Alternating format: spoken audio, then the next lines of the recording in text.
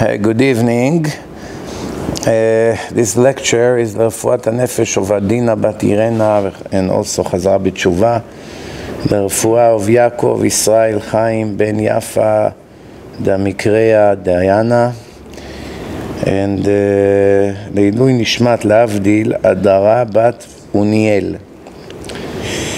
ברוך השם, today it's a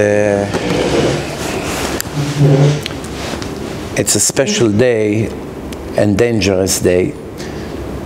The evil people are gathering together in Tehran with their plan to destroy the Jewish people.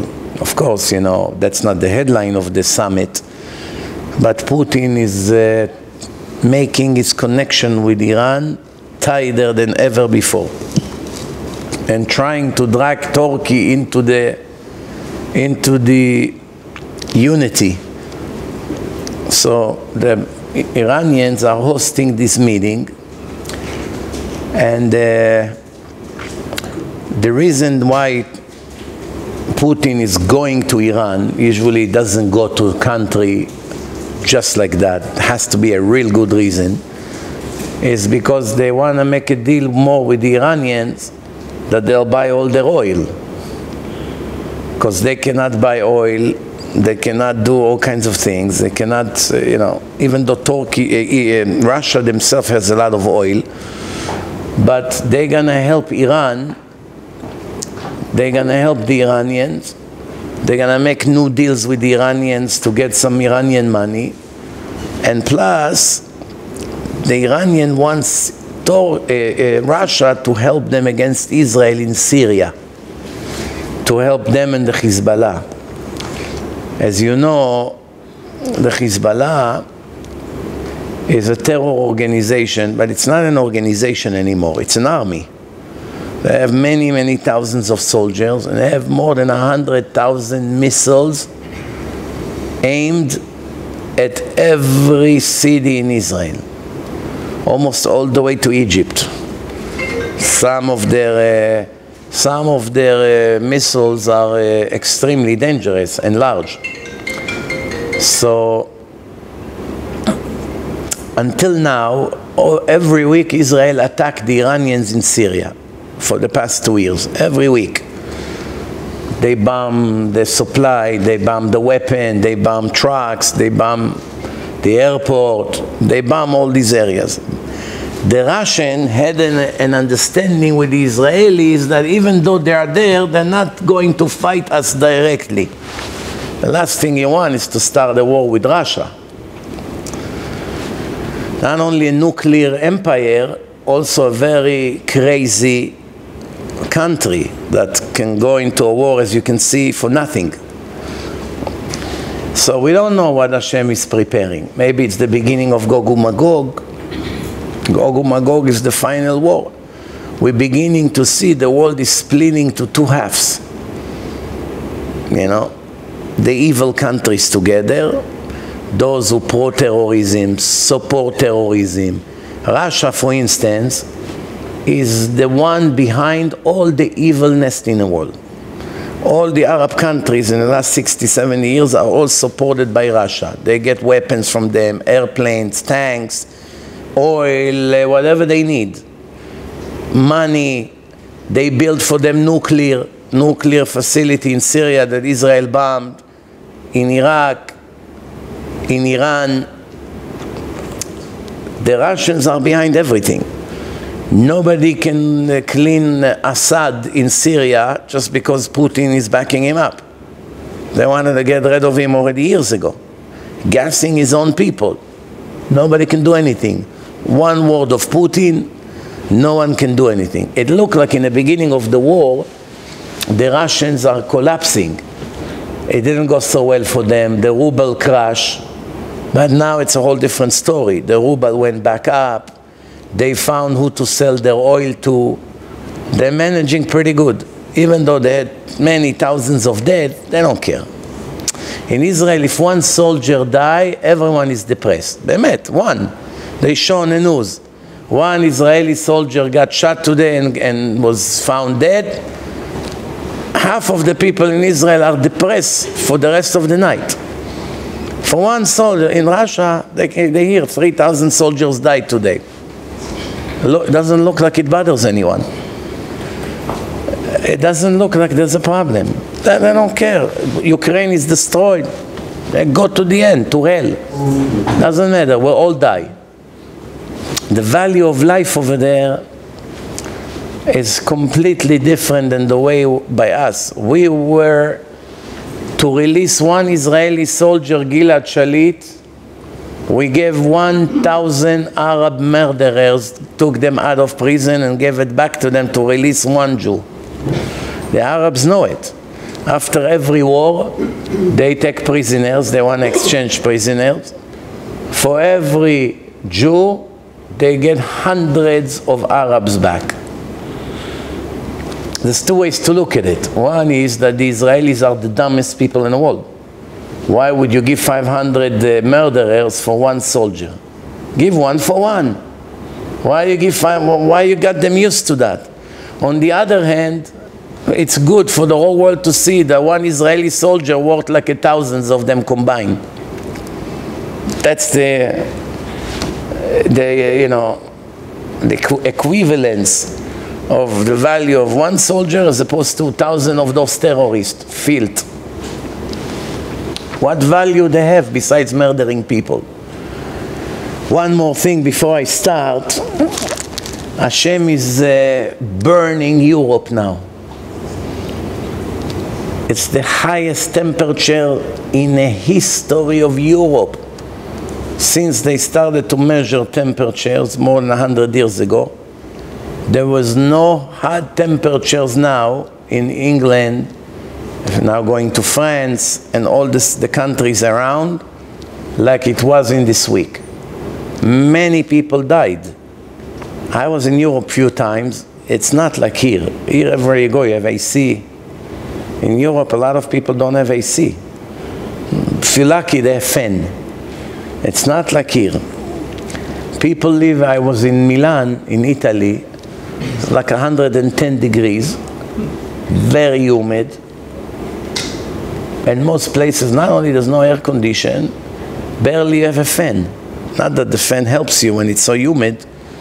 So I remember I did a Shabbaton in the shul in Milan, and they had a freezer room. You know those freezer room in the kitchen?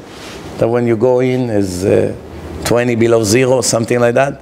Half of the Shabbat I spend inside that freezer not to faint. I'm not joking.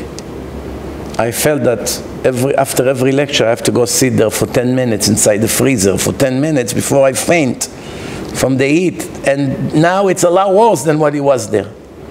That's why a lot of people are dying. They're not used to this kind, to handle such thing. The emergency services, they're not, uh, they're not aware what to do.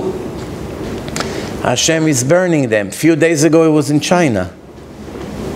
Over here it's also very hot. Look, this week. 90 something degrees the entire week. One thing you should know, as hot as it is, is now 1% of how hot it gets in hell. You know what? I should correct myself. It's not 1,000 of a percent of the fire in hell. How do I know? The Gemara say. The Gemara say, the fire in hell is 60 times hotter than the fire here. The fire here, if you burn something, let's see how long it takes the fire to burn one piece of 2 by 4 wood. You throw the wood into the fire, it takes about 5 minutes, no? Until the whole thing is burning. So if you do it in the fire of hell, it probably takes three seconds.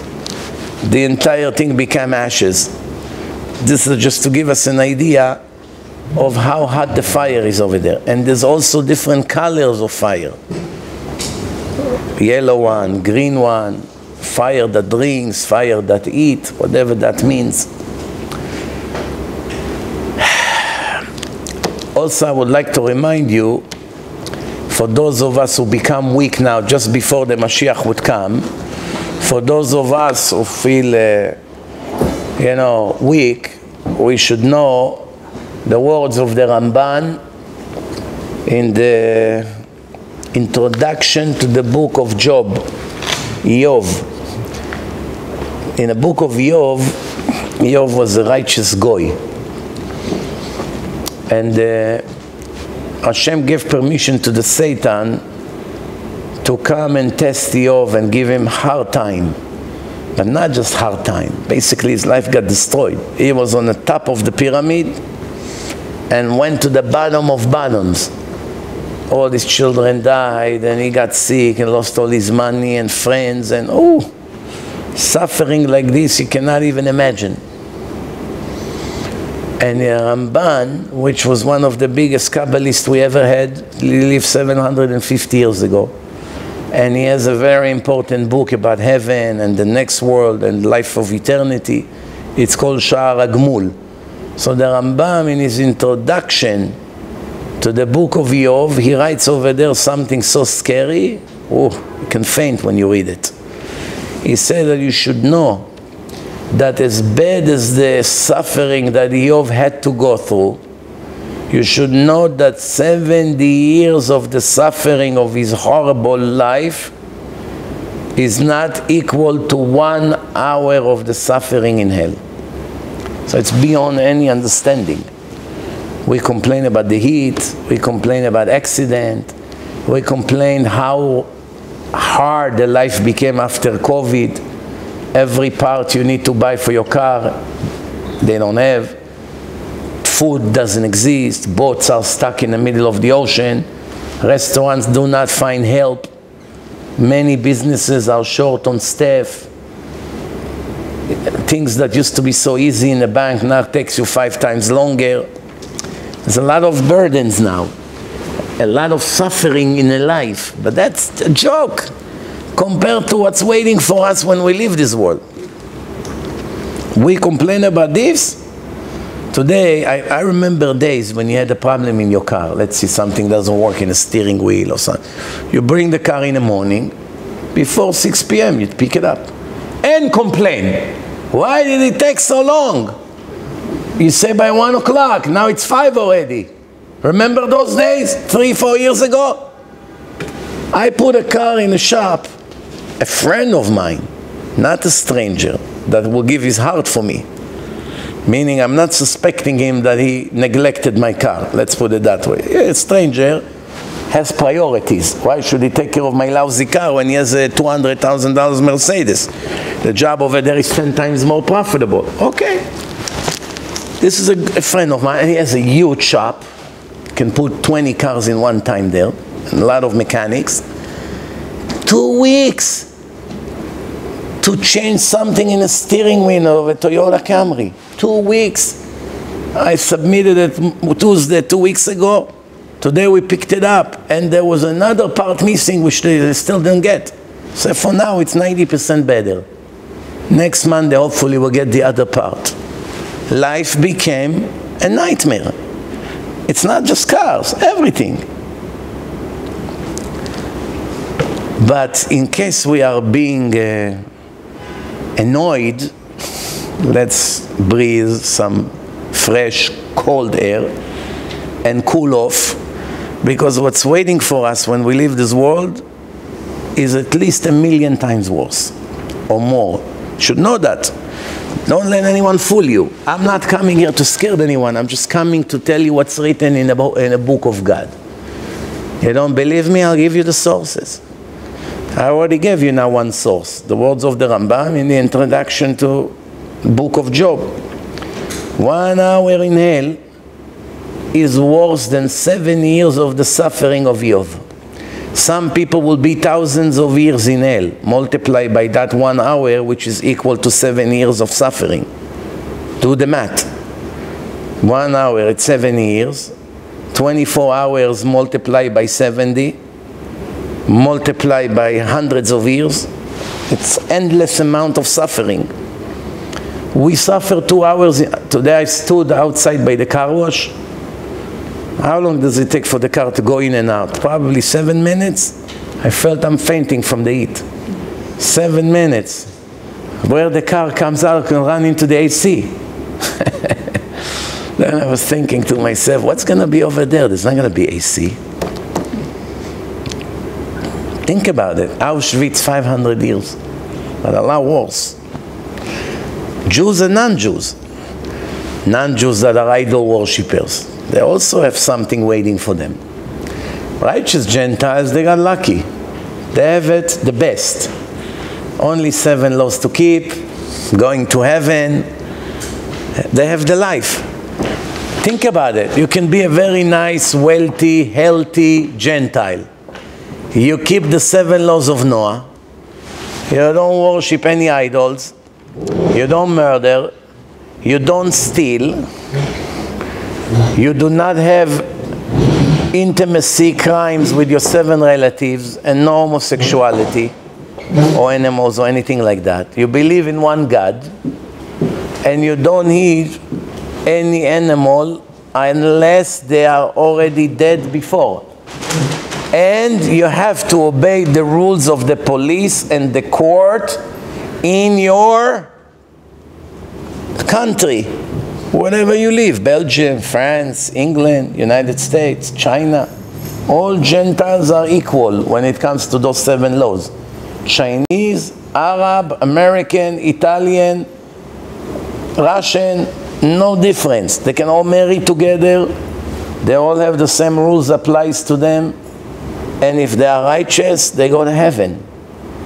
One of the things that many Jews don't understand, that many of the Gentiles that they don't respect will be in heaven and they will be in hell. He thinks, oh, I'm a Jew, I'm important, I'm from the chosen people. Like one Jew one time told me, bottom line, Rabbi, we are the chosen people. I said, not everyone. Chosen in one condition, that you listen to your Creator, not rebel against Him. Everything He told you to do, you do the opposite. You are chosen, you're the worst in the world. Any Arab is better than you. His wife dress modest, he prays five times a day, doesn't eat pork, doesn't charge interest. he, keeps more mitzvot from the Torah than you. What makes you chosen? Some of those Arabs, if you tell them you, you're willing to jump now from the Empire State for the sake of Allah, something inside me tell me tell, something inside me tells me that at least one percent of them will jump. Let's not exaggerate, but one out of a hundred will jump. I'm thinking to myself, if I ask a hundred of my Israeli friends, will you jump from the Empire State Building for the sake of God? If Hashem asks you, jump for me. Show me how much you love me. I mean, of course, it's not going to happen and it doesn't prove anything. But if there was such a, hypothetically speaking, if there was such a test, how many of the hundreds would jump? I'll be honest with you, I'm not so sure I would jump.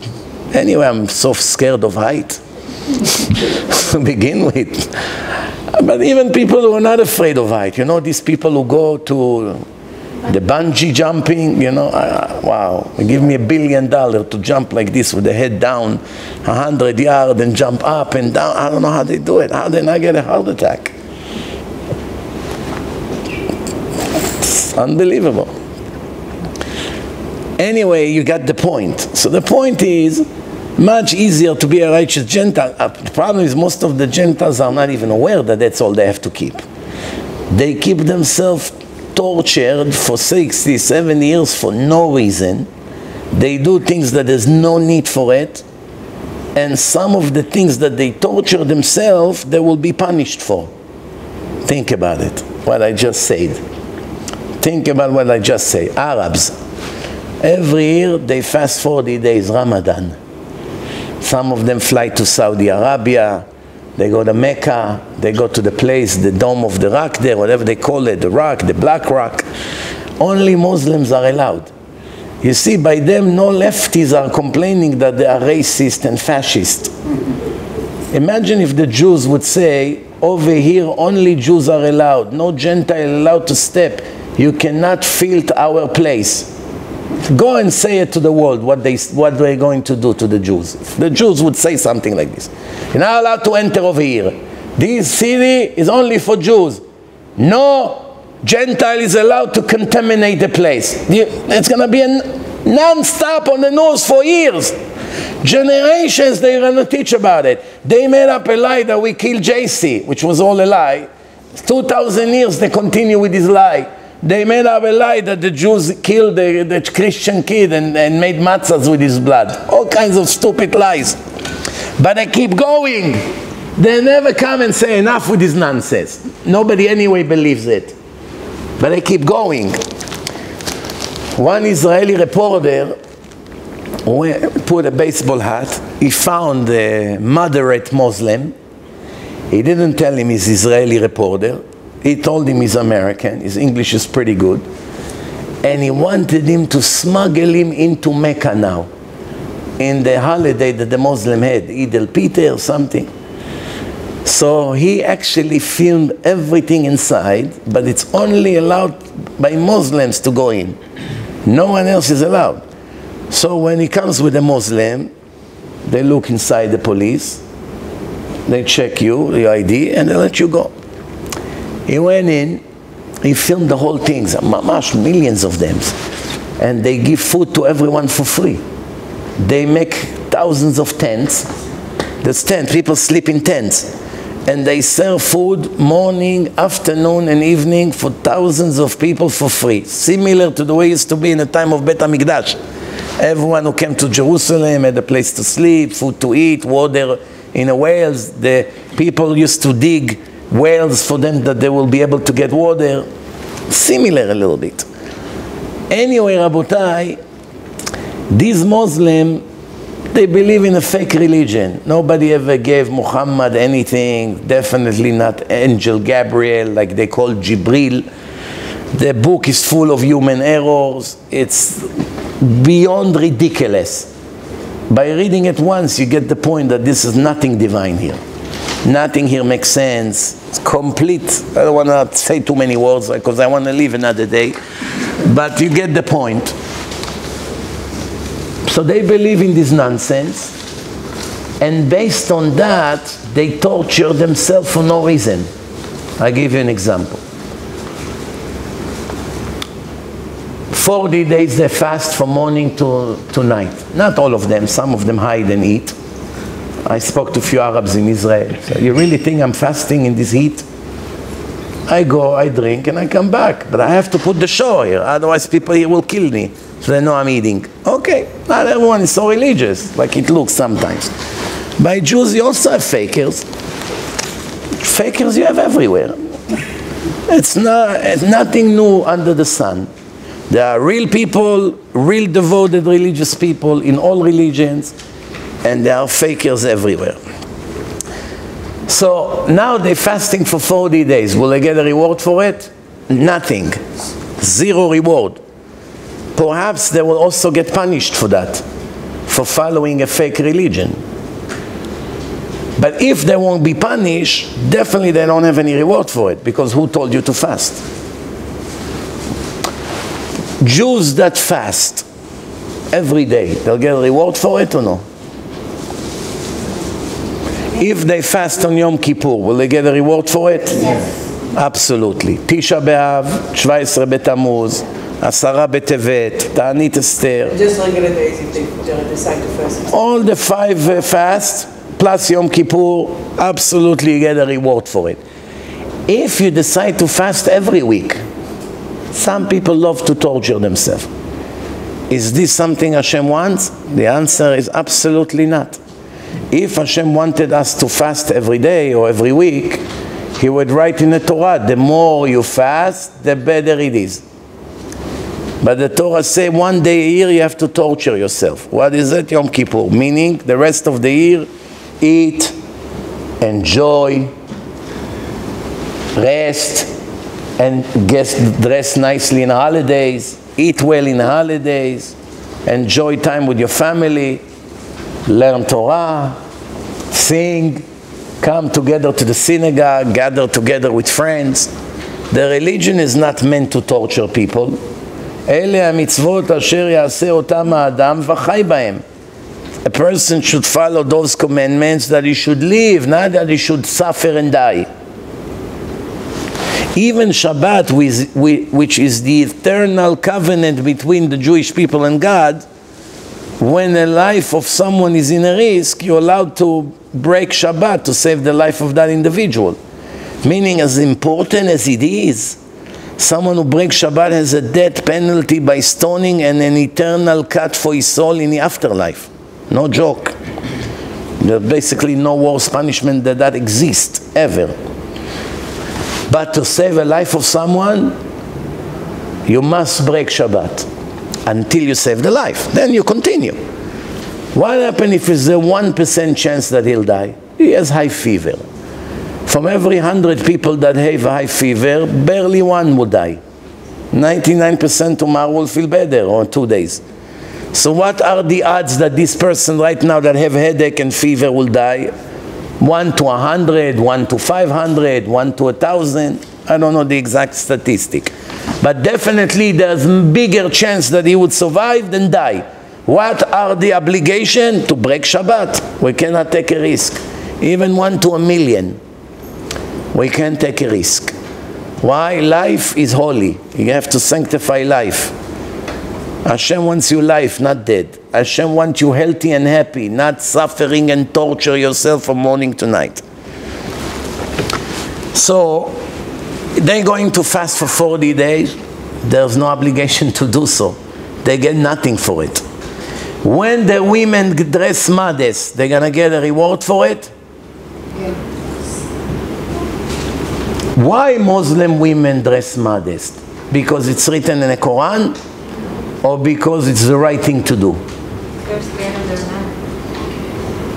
What do you think? Well, you're right about what you say. If they're going to dress in certain countries not modest, they'll get arrested. In Iran, there is police by women. They kidnap the woman into the car, and you will see her, if you're lucky, in a week. After they're going to teach her how to change her fashion style. You know? Like the, in Iran, they believe very much what they say in Israeli uh, army, what doesn't come through the head, come through the legs meaning in simple English, if you don't understand the easy way, you will understand the hard way. It means that in the Israeli army, when you get an order, Mizrahi, you see that tree on the mountain?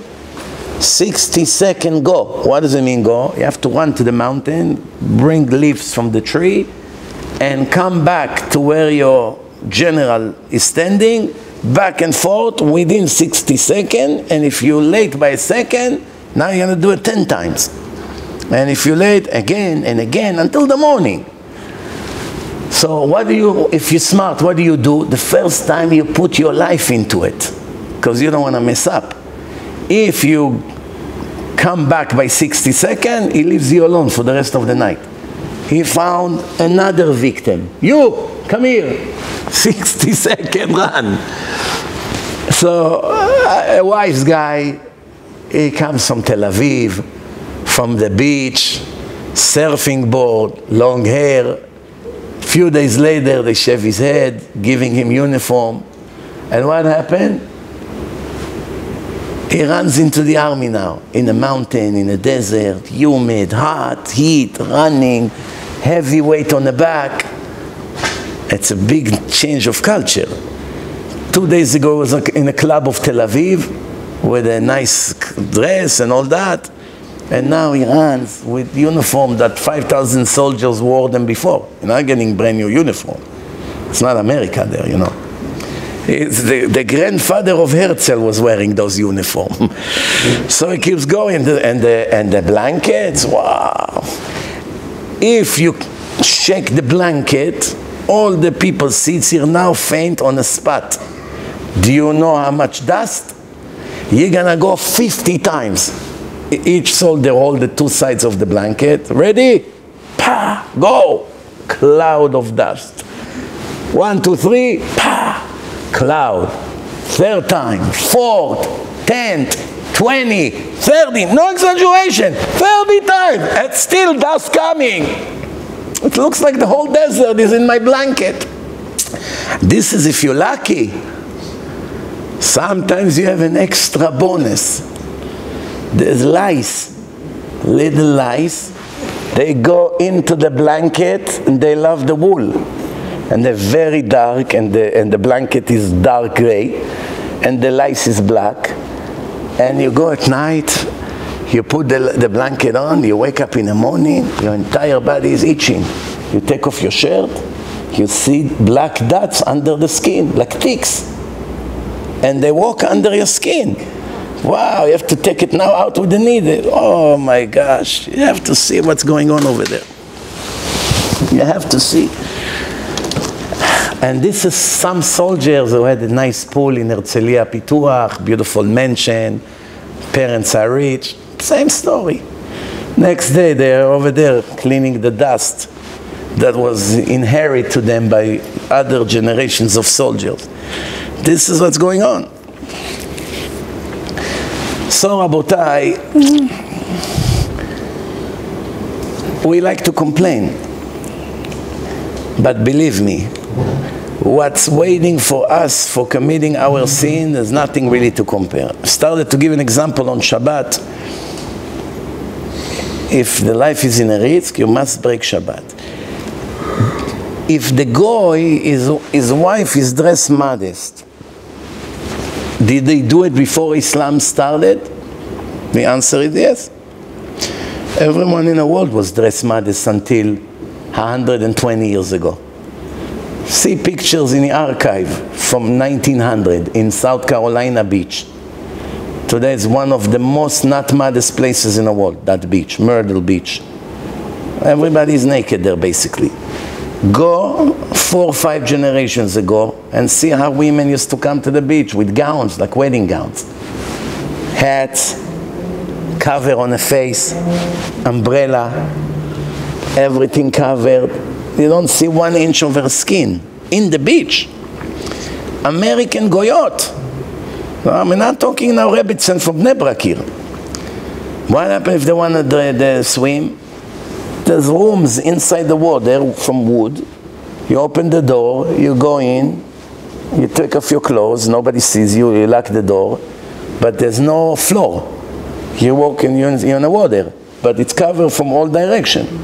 You swim, you dive, or you do whatever you want. You get dry, you get dressed, open the door, and come out. Goyot! Grandmothers of the Goyim of today, or grand grandmothers, that's it. So everyone was modest, regardless of religion. It was simple dignity. People used to be people, not animals. Today everybody became an animal. Animals walk naked. People always been dressed animals always been naked. Now, there's no difference between people and animals. Everybody walks naked on the street. So the question is, people who still dress modest, what is the reason they're doing it? They're doing it because this is normal to do. They're going to get a reward for it. That they don't behave like animals. But if they do it because some fake religious book said so, they're not getting the reward for it. Because they follow a fake religion. And many other examples, Rabotai. I want to give you an example what we're talking here about. You know, in religion, there's a lot of sacrifices. When we had the temple, they used to sacrifice animals why animals have to be sacrificed for our sins? Where is the justice? I will commit a sin, and the next day I'm going to bring some lamb into the temple, and they slaughter the poor sheep, and I see all the blood on the altar, and this, and I will repent and make a confession, and see all the blood, and I get so scared, and they say to me, Shame on you, it should have been you. But why? Okay, fine. You, you scared me enough. Next time before I committed a sin, I'll think a thousand times before. But the question is, why this poor sheep has to suffer for my sin? The Torah is very precise when it comes to judgment that everyone is fully responsible for his own sins. Even children don't die for their parents' sins or the other way around. איש בחטאו יומת, לא יומתו אבות על בנים. The Torah says, איש בחטאו יומת. Every individual has to die for his own sin, not his friend's sins, not his father's sin, not his son's sins. That's, by the way, disqualify Christianity in one minute. Because the idea that JC, poor JC, the suffering JC, he has a sack on his back, and all Christian sinners throw all their sin on his back. JC, catch. Don't worry, son. I suffer for all of you. I took on myself to be a sacrifice. It's against the Torah. And the best part is that Christians admit that they are part two. There's part one, the Old Testament, and part two should be from the same God. How is it possible that in the first Torah I say, no, everyone must pay for his own crimes, no one else. No one can throw his sins to someone else to suffer for him or to be punished for him, even father to son or, or vice versa. So why would a person take the sins of everybody else and release them that they continue to commit more sins as much as they want?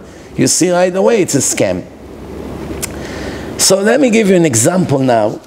It's written in our parasha, what we read on Shabbat, ויעל פר ואיל במזבח. בגמרא in מסכת נדרים, what does it mean ויעל פר ואיל במזבח? You bring up a cow and a ram on the altar. In Masechet Nedarim, the Gemara, page 35, the Gemara says, Hani kahani, shluche didan havu, or shluche deshmaya. That's in Aramaic translation. The Kohanim, the high priest that serves in a temple, they are the messengers of God or they are the messengers of the public? Do you understand the question or no? I'll describe to you a scenario.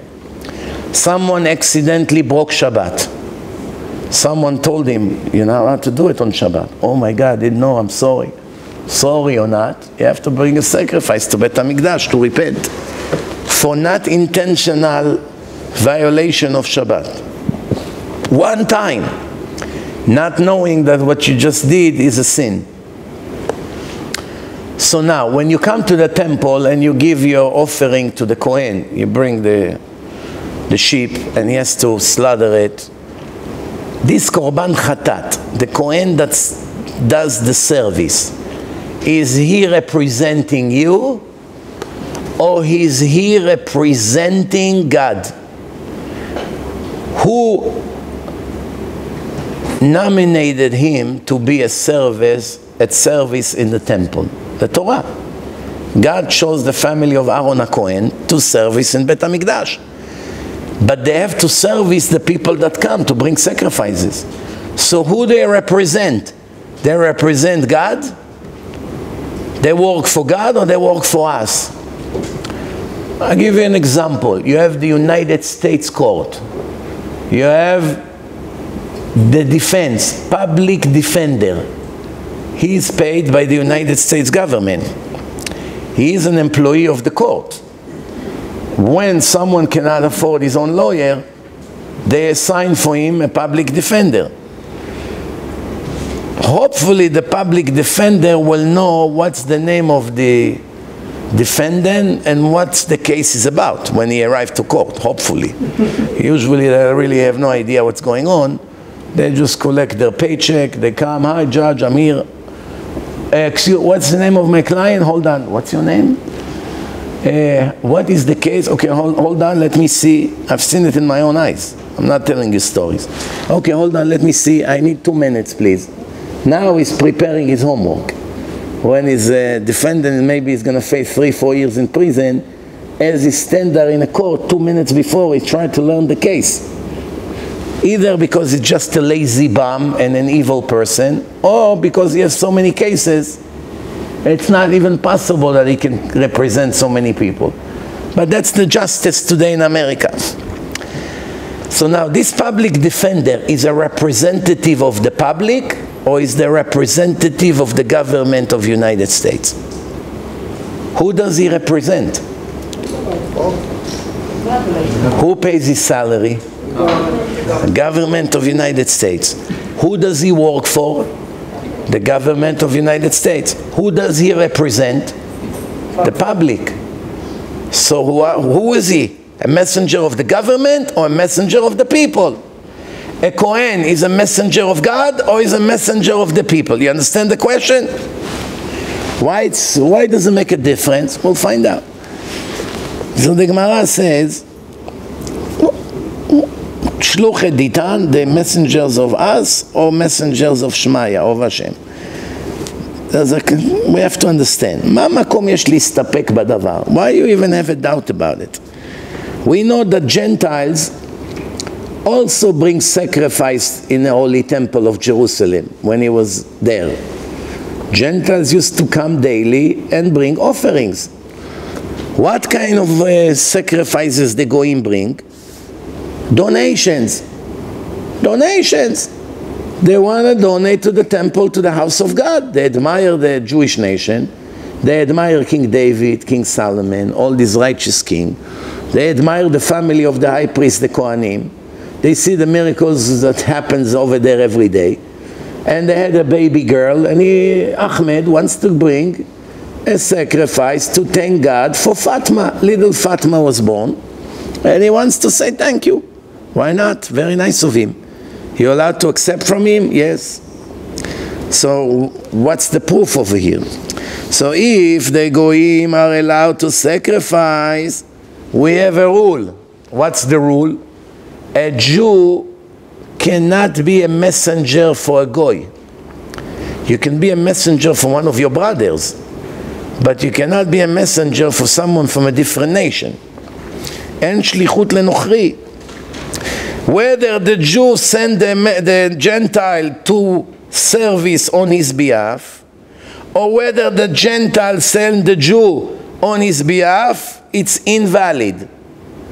There's no discrimination. It works both ways. If the Gentile wants the Jew to serve him, meaning to be his service, he cannot do it. If the Jew wants to use the Gentile to do service for him, he cannot do it. We're talking holy service regular favors to each other, they can do as much as they want if they're friends. We're not talking about in every day. We're talking in a temple now. I want to make you a messenger to circumcise my baby. Today we don't know how to circumcise. We bring a professional moel.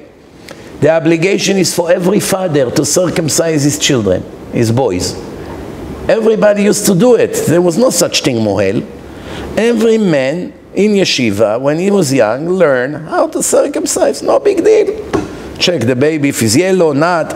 You check certain things. You check how to do the milah. You check how to do the orla. You check what happened if, there, if it wasn't perfect. Tzitzin המעכבים, tzitzin שאינם מעכבים. There's all kinds of rules.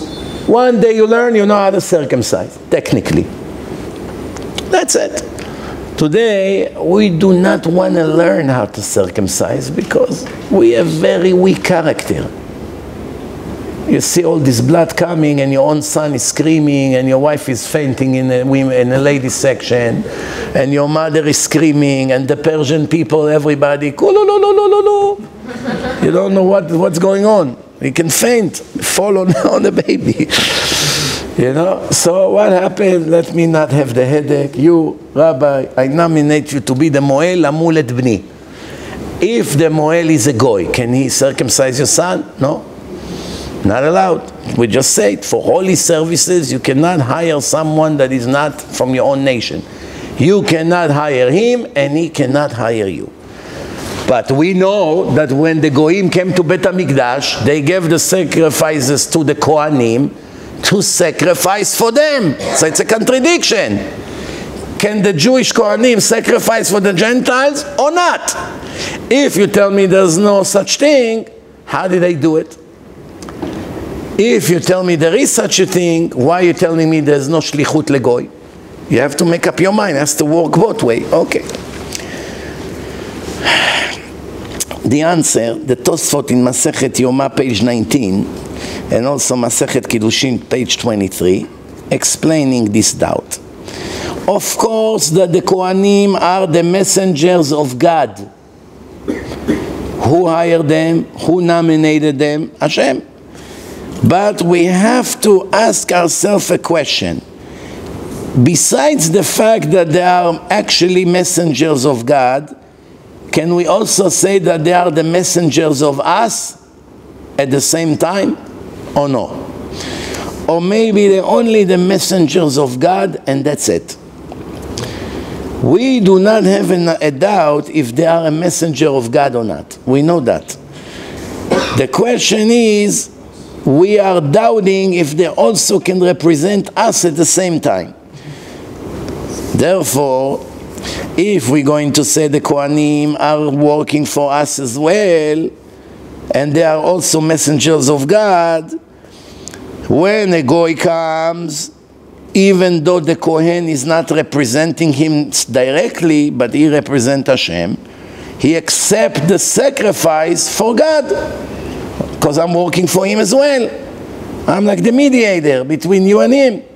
So therefore, there's no difference if a Jew gives it to me and I bring it to God, or a non-Jew brings it to me. Either way, I work for him and I collect for him. Oh. But if he was only a messenger of the public, since there is no legit way to be a messenger of someone from another nation, he would not be able to accept a donation from those goyim. Conclusion, the people, the Kohanim that works in Bet HaMikdash, they are the servants of Hashem and also the servants of the public. So when Jews come, it doesn't really matter whether you're serving Hashem right now or you're serving the Jew, either way you accept the sacrifice. From this, on this behalf and on this behalf.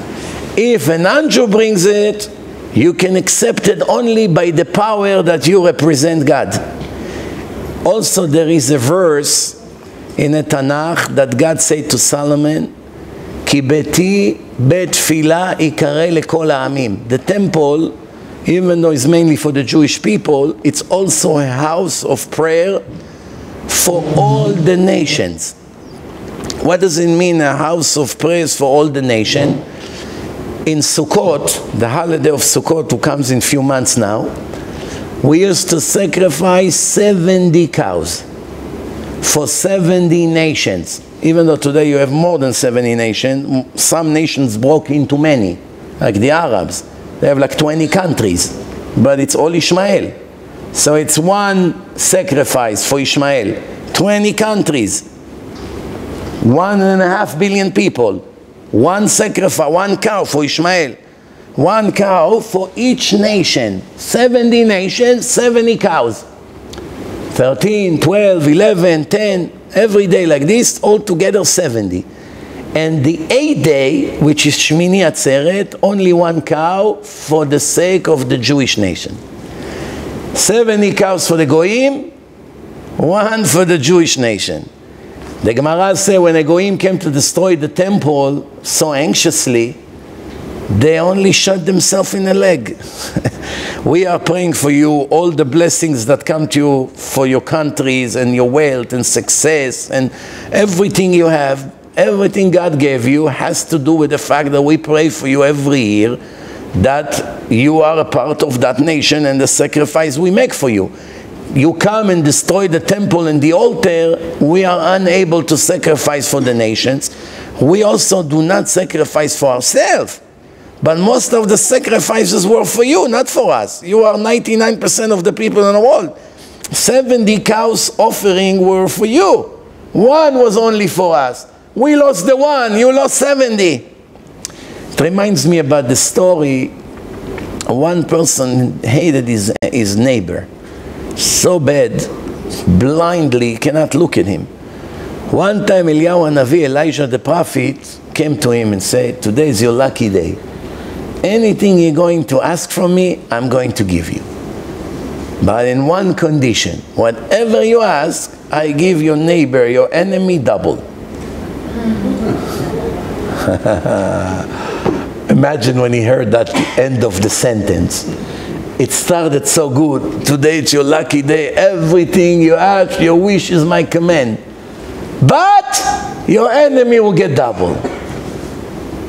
A normal person would say, give me this, give me health, give me money, give me children, whatever he needs, right? But your neighbor's gonna get double. Okay, you ask five kids, you don't have kids. Ten years, no kids. God, give me five kids. I want five kids. Three boys, two girls. Three girls, two boys. Whatever. Three and three. Give me six. Make it equal rights, three and three. But I'm going to give your neighbor six and six.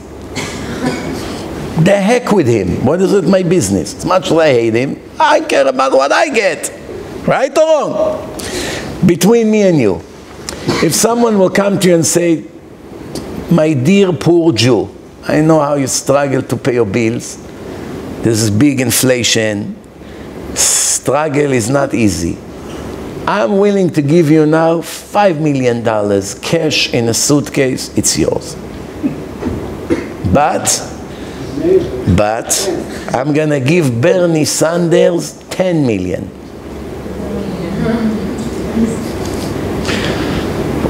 Now I'm thinking to myself, maybe it's a bad example. because for him, better to lose the 5 million. But you got the point. So yes, you will love very much that you got such a nice gift. The one you cannot stand just got doubled. No, okay, we live with that. What can I do? Who said life is perfect? So the guy said to Eliyahu Navi, poke one of my eyes. Make sure you poke both of his eyes. At least I can see with one. and he won't be able to see me anymore. It's worth it. Some people willing to suffer as long as they torture their enemy with them.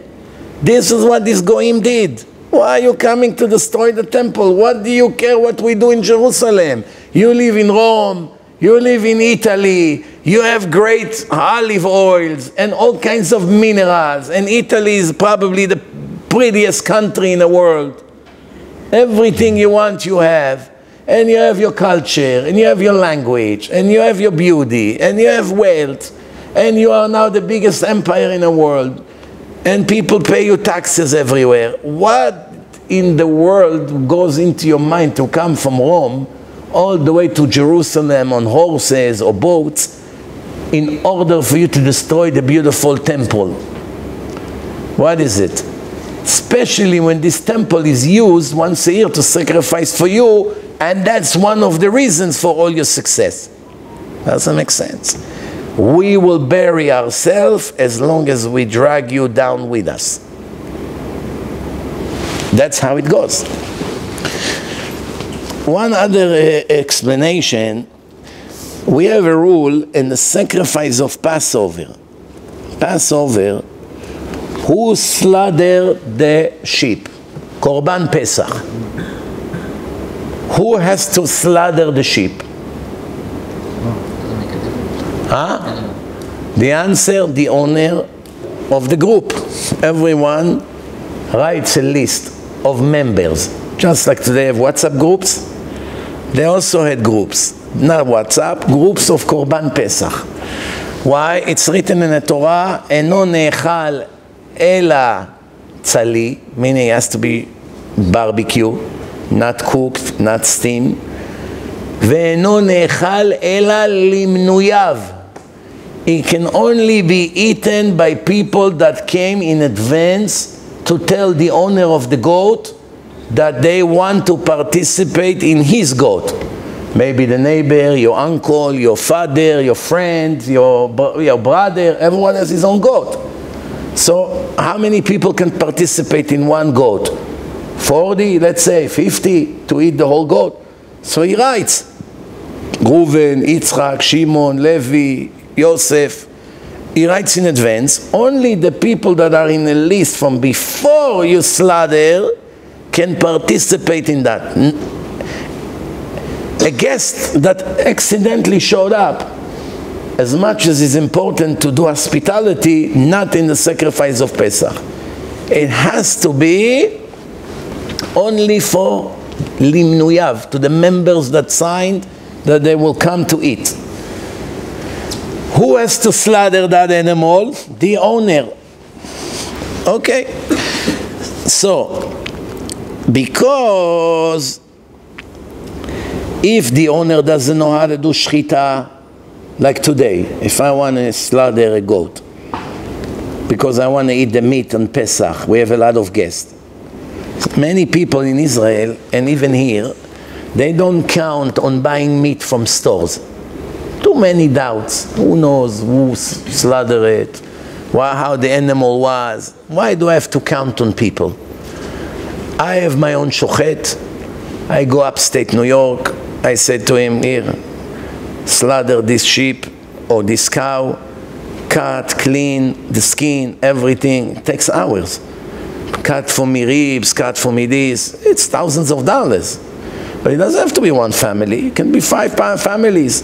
Everybody gets share the meat. By the way, it's a lot cheaper than to pay 20, 30 dollars a pound here. It's cleaner, fresher, cheaper, and definitely better as far as knowing that it's 100% kosher. Why? Because you know who slaughtered it, and you, he checked it right in front of you, and he shows you, look, the long is clean, smooth, no holes, no defect, nothing is broken. So you see what you buy. Some people in Israel, that's the only meat they do. They have a huge freezer. They stock it for three, four months, and every Shabbat they take out ribs, this, that. That's what they do. Here in America also. So when they slaughter, if you don't know how to do it, you bring a Kohen to slaughter for you. Kohen, please. I make you a shaliach, a member, to slaughter the animal for me for Korban Pesach. So other sacrifices, the owner of the sacrifice has to slaughter it or anyone can slaughter it? Anyone. Doesn't have to be the owner. Only in Korban Pesach it has to be the owner. Meaning in other sacrifices, it doesn't have to be the owner. So when a goy come, he cannot do shchita. He gives it to the Kohen. The Kohen can do it. Anyone can do it. Even someone else, not the Kohen. Right? Shchita kshera bezar. So when a goy makes a neder, a vow to donate to the temple, and the Kohen sacrifices it for him, even though he's not his messenger, he can definitely slaughter for him just like everyone else that is not a Kohen. Right? And therefore, we have no problem accepting donations from the Goyim whatsoever. You see, from here you get a lesson that we do not make decisions based on feelings and trying to be politically correct, based on the, and the, on the vibes in the street. That's not how it works. We only stick to the rules of the divine book. Whatever God said to do, we do. Sometimes we love very much what He told us to do. Sometimes it's not so sweet in our mouth. Some people, not, not every mitzvah you are equally attracted to.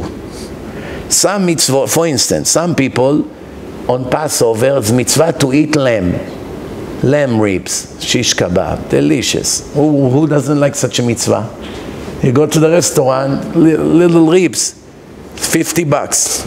Little tiny, one bite, five, six bites, 50 bucks. Now you have all night, you eat, you enjoy, wine, why not? So it's a great mitzvah. Who wouldn't want it? Anyone who likes meat, enjoy the mitzvah. But some mitzvot, oh, oh, oh there's so much headache. Let's see, you're going from Tiberias to Jerusalem to sacrifice a, a sheep. It takes you two weeks to get there with your donkey. And two weeks to come back in heat like today. In Israel, it's hot like this every day. You see the heat outside today? Every day is like this for six months straight. From June, actually even before May, it begins to be very hot, but June, July, August and September like this. Very humid, Tel Aviv, sauna. You take a cold, freezing shower. Freezing. You don't touch the hot water. You're shaking. You come out of the shower room, one minute in the living room or in your bedroom, you need to take the towel again and dry again. Okay, you dry, you're about to get dressed, you wet again. You dry yourself again, you're about to get dressed, you wet again. What's the point of taking a shower? There's no way to dry. I'll tell you something even better than that.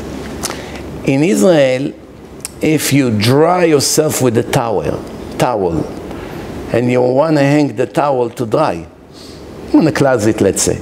You don't want to throw it right away to the laundry after one shower. So you want to dry it, maybe I'll use it tomorrow also. Two, three showers, I'll change the towel. Here, You come after five hours, it's totally dry. Dry, smells good, you still smell the laundry on it, the detergent. In Israel, it never gets dry. Two weeks, it's still wet because of the humidity in Tel Aviv. I was going crazy. I said, what's going on with this towel? It's 110 degrees outside, sunny, so hot. This towel is already five days hanging here and it's not getting dry. Still smells wet and feels wet. Why? Humidity. No, well, I don't know. Some places is even worse. I was in Panama, oh my gosh. Costa Rica, Panama, China. Ooh, you live in a sauna. Free sauna. Free. Tough. I always wonder why Hashem made some places dry and some places extra humid. Humidity creates clouds. The humidity goes up, evaporates, create the clouds, cloud explode and bring rain. Rain makes the fruit and vegetables grow. That's why you make a lot of money. So you sweat, but it brings you lots of cash. If you're in a desert, it's very dry, but there's no income. what are you going to do? Make a cheese out of the camel milk. Sell leathers of the animals. Things like that. What are you going to do in a desert? How much money you can make? Every place with its advantages. Now, Rabotai, we have to learn a very important principle. We can divide the world to two different groups. Student of Abraham. Remember, Abraham is the father of almost all the people in the world. Jews, Arabs, Europeans, Chinese, almost everybody. Europeans, they all came from whom? Esav, Yefet, family of Abraham. And uh, the people that went to the east, Chinese and others, Thailandi, Japanese, all these people, Philippines, they're all the children of Abraham from the next wife he took. He had first Hagar, and Hagar gave him a lovely boy named Ishmael. Ismail in Arabic. So Ishmael was born first. When he was 13, Yitzchak was born from Sarah. So you have a son, Ishmael, 13, now a brand new baby, Yitzchak. Few years later, Abraham takes another woman. Her name is Keturah. And he has kids from Keturah, and he sends them to the east and he gives them gifts. What are the gifts? Black magic. Black magic. In uh, East, you have in India, in uh, China, all these places, they have all kinds of skills of making all kinds of kishufim. I remember I had a chavruta in yeshiva, it was in India, he told me, if I will tell you that I went to India and I saw something over there that you won't believe it. Can you believe it? I'll tell you what happened. I went to India. I see a group of people around something. I come to see. I see a statue is sitting in the middle, and one Indian magician has a yogurt, like this, a jar of yogurt with a spoon he takes the spoon, he puts it in the mouth of this statue, and the statue drinks it. And everybody falls and bow down. You see, when you go to those places in India, Tibet, Thailand, all these places of kishufim, of idol worshipping, I should say, they make the entrance to the temple very low. Very, very low. So the only way to enter is to bow down, walk a few steps, and rise. By the time you rise, you see a huge statue, pure gold, Millions of dollars. How much they waste on this shtuyot, this nonsense. You just found yourself bowing down to their fake god of these Indians or Hindus or Buddhists and all these kinds of cults. So what does the Israeli do? What do they do when they go? They enter in reverse. They bow down to the opposite side and they walk in reverse. They get angry, but Jews, after all, as wicked as they are, a righteous Jew, what does he have to do in India in idol worshipping places? The fact that he goes there already doesn't show that he's such a tzaddik. Yes, but even a Rasha like this doesn't bow down to an idol.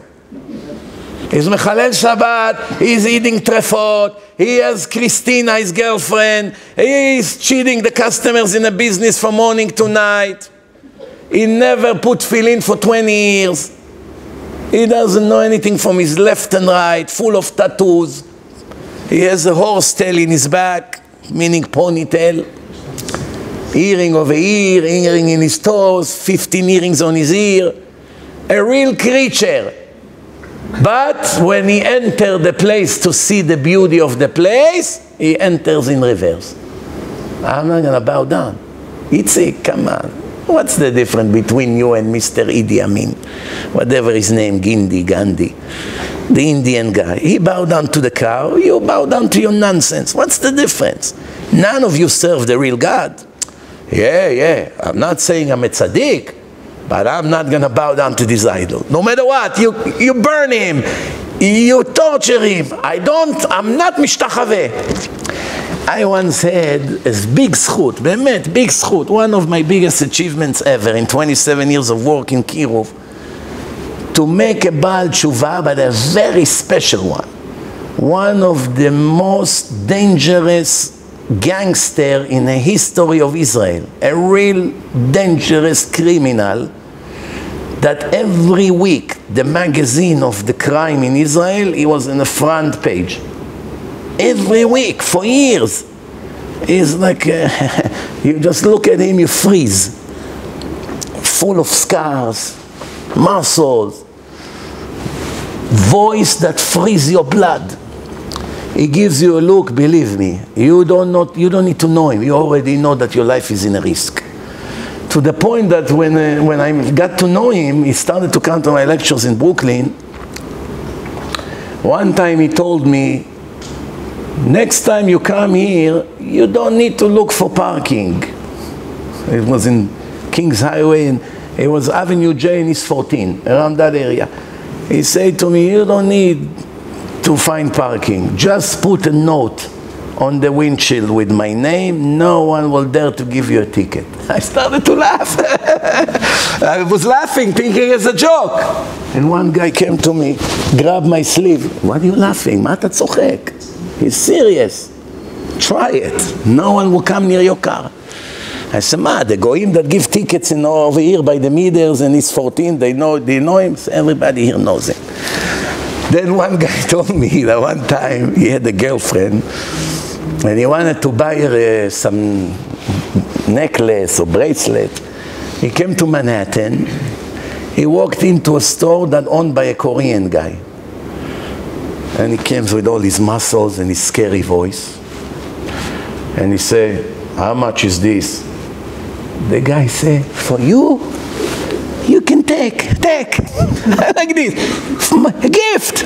How much I want to pay? Gift, gift.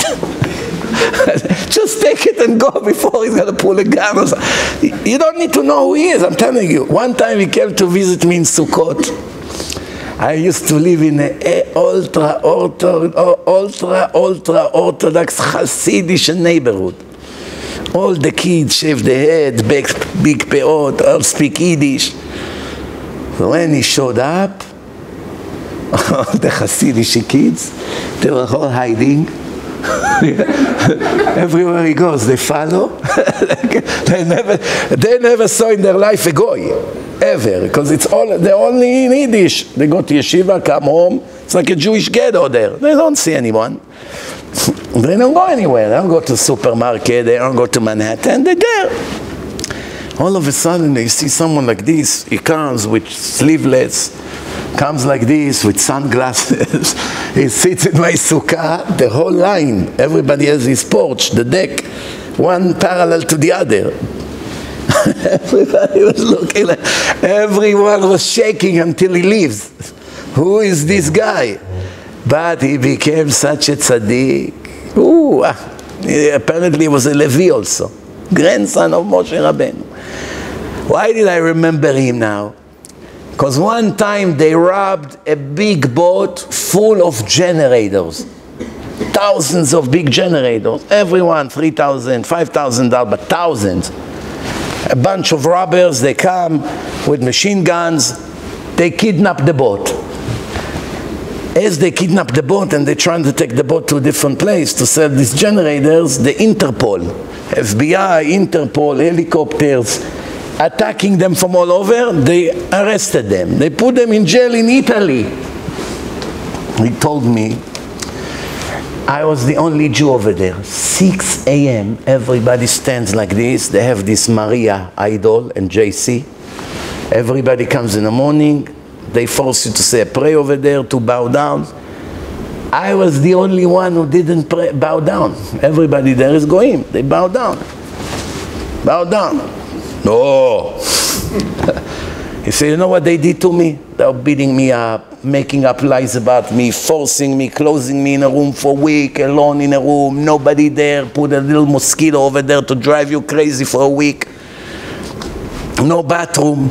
You have to do the bathroom next to your things where you sleep. I don't have to tell you the conditions over there. Two years. Now once I agree to bow down. I said, okay, now I understand why you now have the zchut to, to become Baal Tshuva. He left the crime, finished with everything, and from then on started to come to the synagogue right here in Brooklyn, 5 a.m. He was in a shul, they give him Aliyat Levi. Until today, it's been more than 20 years, he's still religious. It wasn't just a gimmick. He stayed religious until today. Now he's close to probably 75 years old by now. Somebody like this can become fully religious. Who over here has any difficulty to be righteous?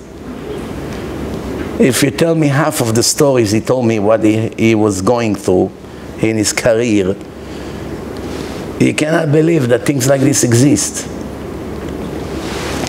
Anyway, Rabotai, so there are two groups of people, the students of Abraham and the student of Bilam. Bilam is full of arrogance, ego, greed, dishonest, basically everything negative you have in him. Manipulator, knowing there is a God, knowing what God loves and hates, knowing what's right and wrong, and live the opposite of what God's commanded every one of us to do. Knowing His Creator, and rebelling against him every day for selfish reasons desire, greed. Then you have on the other side Abraham. Hashem giving him the hardest test, 10 impossible tests to imagine. He passed all of them. He never thought one thought against what Hashem promised him, and now supposedly he's not keeping his promise. Not only he didn't ask, he didn't even think. Willing to die any given moment for Hashem. Never lied, was the number one in hospitality, sponsoring all the guests that come just to talk to them about God, that they should bless God for the food. He doesn't want any gifts, does, he doesn't have any greed, doesn't have any jealousy. A real servant of God. Some people belong to this leader and some people belong to that leader. What do you think? Most of the people here in America, which class they visited in college? The class of Avraham Avinu or the class of Bilam? Let's be fair. For every thousand people you meet in Brooklyn, Queens, Manhattan, Long Island, anywhere you want, how many of them represent Bilam And how many of them represent Abraham? Who knows what was the highest skill of Abraham? From hundreds of great skills that he had, the Torah complement him. What was his number one achievement? Teacher. Teacher. I'll tell you the verse. ואת הנפש אשר עשו בחרן. The souls that Abraham and his wife Sarah created in the city of Haran belongs to them. They are like their children. Who is those souls? All these Gentiles who were idol worshippers, and Abraham taught them about God and about the real one God and about the purpose of life. And that's why they call him Avraham Ivri, the Hebrew. Hebrew means one-sided. Language Ivrit, Hebrew, comes from the word Ivri. Ivri means ever, one side. He was on one side of the world, and everybody was on the opposite side. But slowly, slowly, more and more of these Reshaim moved to the positive side. By now, he has an army of students who taught them about God and they follow the one God. Stop worship the stupid idols. That's why all three religions admire Abraham. Even Islam and Christianity admire him. But even the Buddhists and the Hindus and all of them, they also came from Abraham. From the children that he had with Keturah, and he gave them the Kishufim, and he sent them to the east. So the large portion of the world are children of Abraham. But how many of them behave like Abraham? How many? From every thousand people, how many you would say? Give a guess. You have a thousand people now standing in line in Flatbush. How many of them represent Abraham more than they represent Bilam? Let's do it together. Most people are greedy or not? Almost everyone is greedy. Some more, some less. Greed. One, they want, they have a million, they want three. They have three, they want six. They have six, they want 20. They have a billion, they want five. He just made his first billion. Tomorrow he listens on the news that this Musk in one, one hour made 20 billion dollars. By these wealthy people, sometimes in one day they can go up 10 or 20 billion dollar up and down. Think about it. 20 billion dollar to lose or gain in one day. What 100,000 people who work all their life do not do together in 30, 40 years of hard work, he lose sometimes in a minute in a stock market. In a minute. He eats his eye. He called his wife, hey Janet, something is in my eye. Check over here. Oh, you don't have anything, don't worry. By the time the conversation is over, his stocks went up 7 billion. How many years we have to work to make 7 billions, all of us? Huh? This guy make 40, this guy 60, this guy 100, this guy 200, this guy half a million. Ooh, half a million. Combine all of them, multiply by 40, 50 years of career. Everything together, once he had a little air fell into his eye and his wife went, 7 billion. Huh? ah, think about it. Magic. How stressful life like this can be. I remember once I had a Georgian student who had an office of day trading. You know what's day trading? Every few seconds they buy and sell. I don't know. If to me it looks pure gambling. Because stocks can go up and down, nobody knows what's going to happen in the next minute. So you buy, it can go up. You can go down. You sell, it can go up. You buy, it goes down. It can be the opposite. It's pure gambling, like throwing dice. He had a partner, a Russian Jew, not religious, that this guy is frozen in Antarctica. Um, do you ever see a person with no feelings? Doesn't have a heart in his body. He sits in front of the computer. This was 15, 16 years ago. As we speak and he laughs, he looks at the screen and I see in five minutes his stocks went down $300,000 in five minutes. Doesn't even affect him a bit. Continue the conversation, smiling. I asked the other guy, the Georgian, you know, they have hot blood. This Russian guy is Siberia. But the Georgian is hot blood. I asked him, listen, this guy just lost $300,000, didn't make a beep. Oh my eyes like this, his ice. He make a million, you don't see. He lose a million, you don't see anything by him. Nothing. Full control, full discipline. Not because you have such big emunah in Hashem. Whatever Hashem wants, I'm your vessel. Use me. No. Perhaps doesn't even believe in God. Not religious, Russian, communist, whatever. Ice. Between you and me, if your stock goes down $2,000 in the last five minutes, what happened to you? If you had a thousand gray hairs on your head, you just got some friends. it's now 1500. You don't believe me? I'll tell you a story. It's been a long time since I told you a story. I have a cousin, Tzaddik Yesod Olam.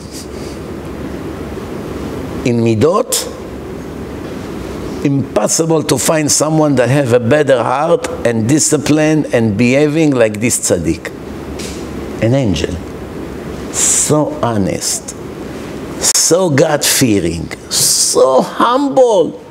You give him a little compliment, he's shy for an hour, red like a tomato.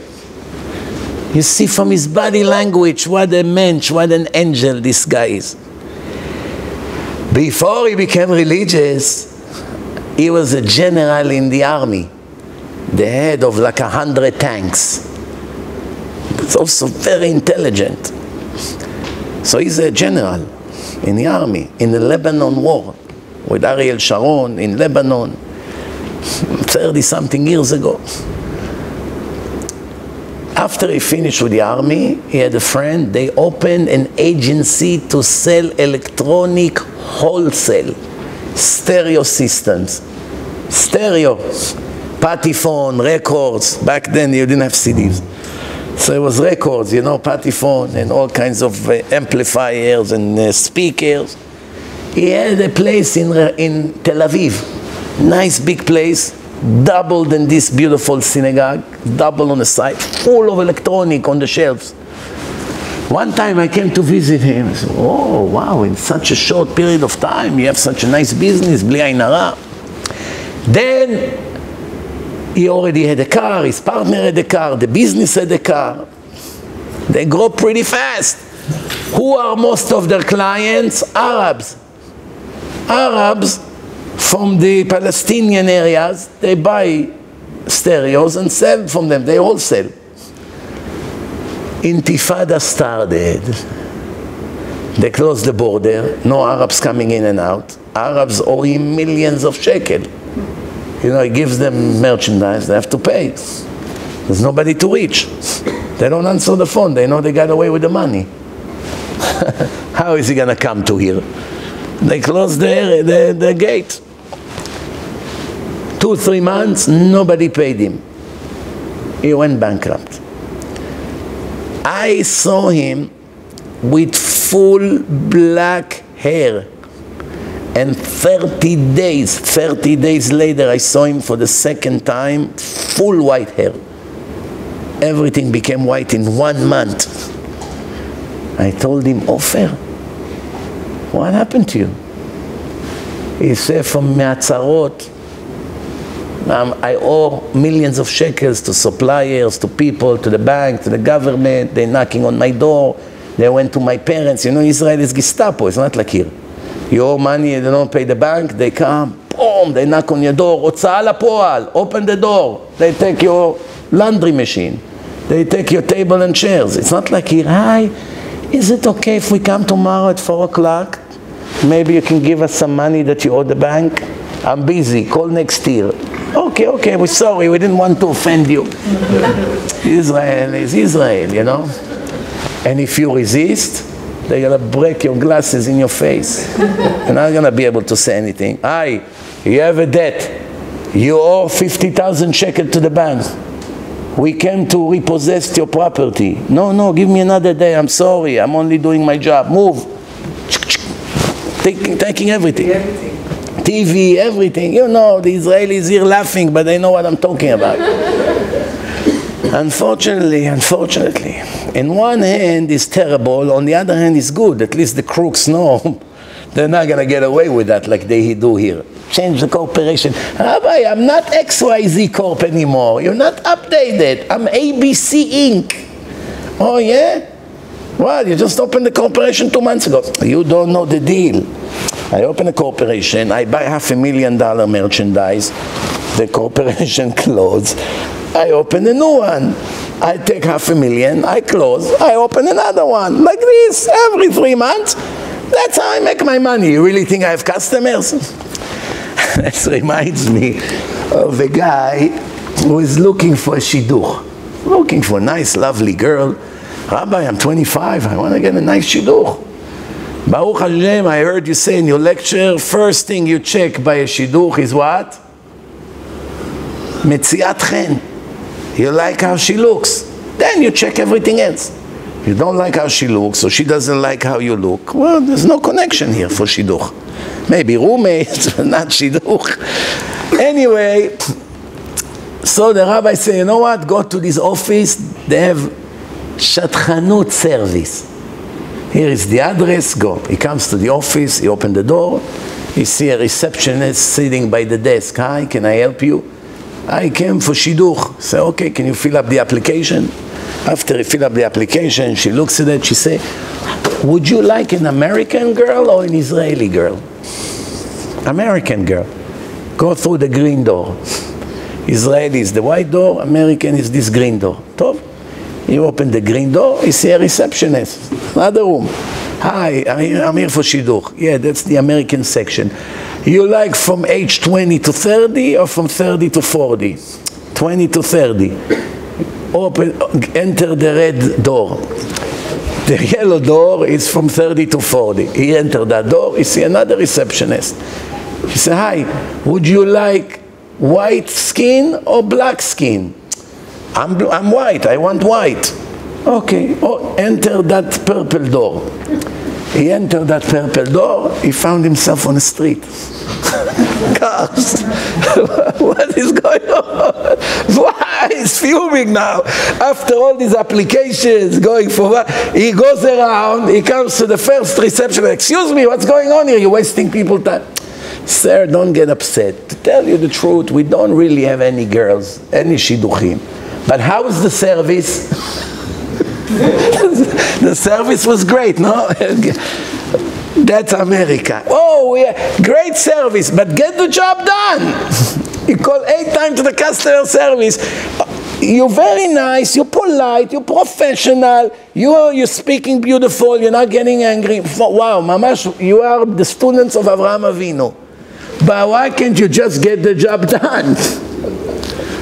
We're very sorry, sir. I promise you next month the problem will not happen again. 15 months like this.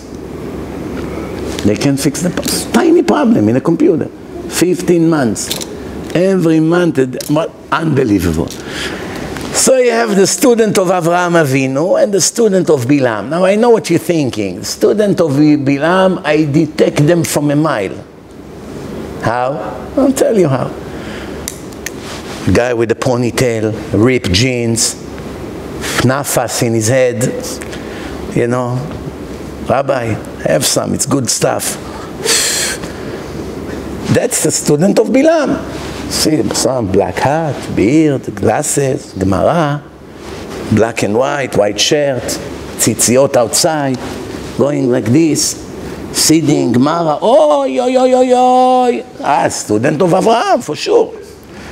I have to be a genius to know. Avraham, Bilam, Avraham, Bilam. Let me stand on Flatbush. I'll tell you, Avraham, Bilam, Avraham, Bilam.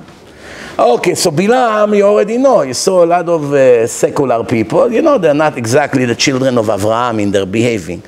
But all the black hats that you now put in, uh, in a section of Avraham, let's begin to analyze them. And you're going to find that 99% of them are also belong to the other side. That's the mistake of most people, that they think if someone sits in yeshiva with the Gemara, is for sure mitalmidav shel Avraham Avinu. If you think I'm an, an extremist, it wasn't my idea. Let me read it. Let me read to you the source.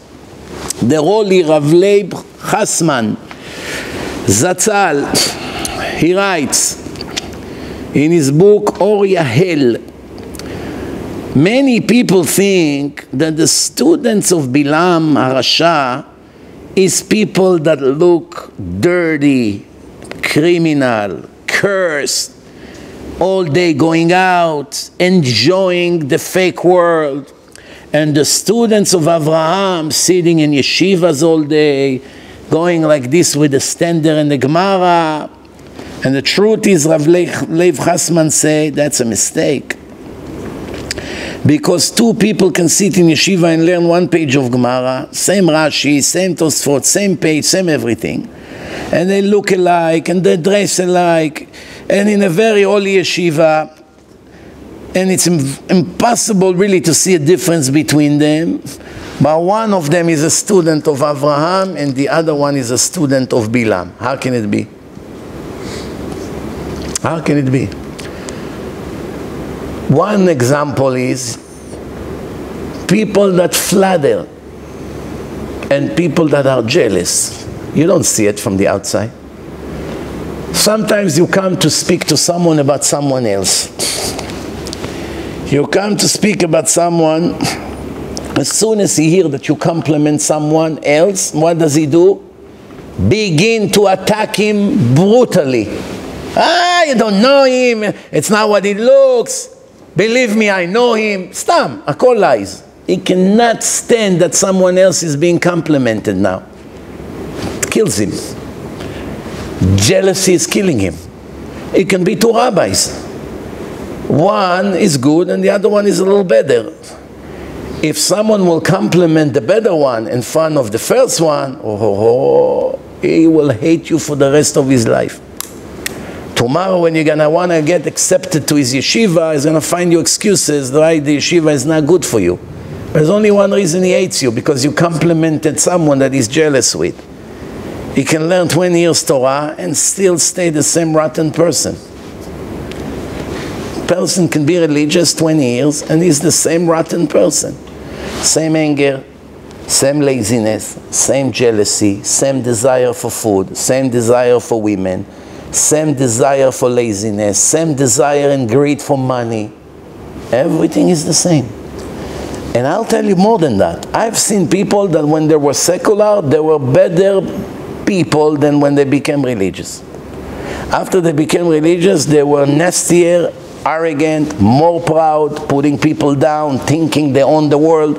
When they were secular, they knew they don't know anything. So their ego didn't come out so bad. Now when they think, oh, I'm 20 years in yeshiva, I know a lot. Who's going to tell me where to sit and what to do? Now, 20 years later, Hashem hates him more. Why? It's an animal. I'll give you one example. Some yeshivas, I don't, I'm not giving names, and I, I promise you I don't have any person in my mind. I'm speaking generally. Not that I'm thinking about someone. It's just from what I hear every year. But it's a general phenomena.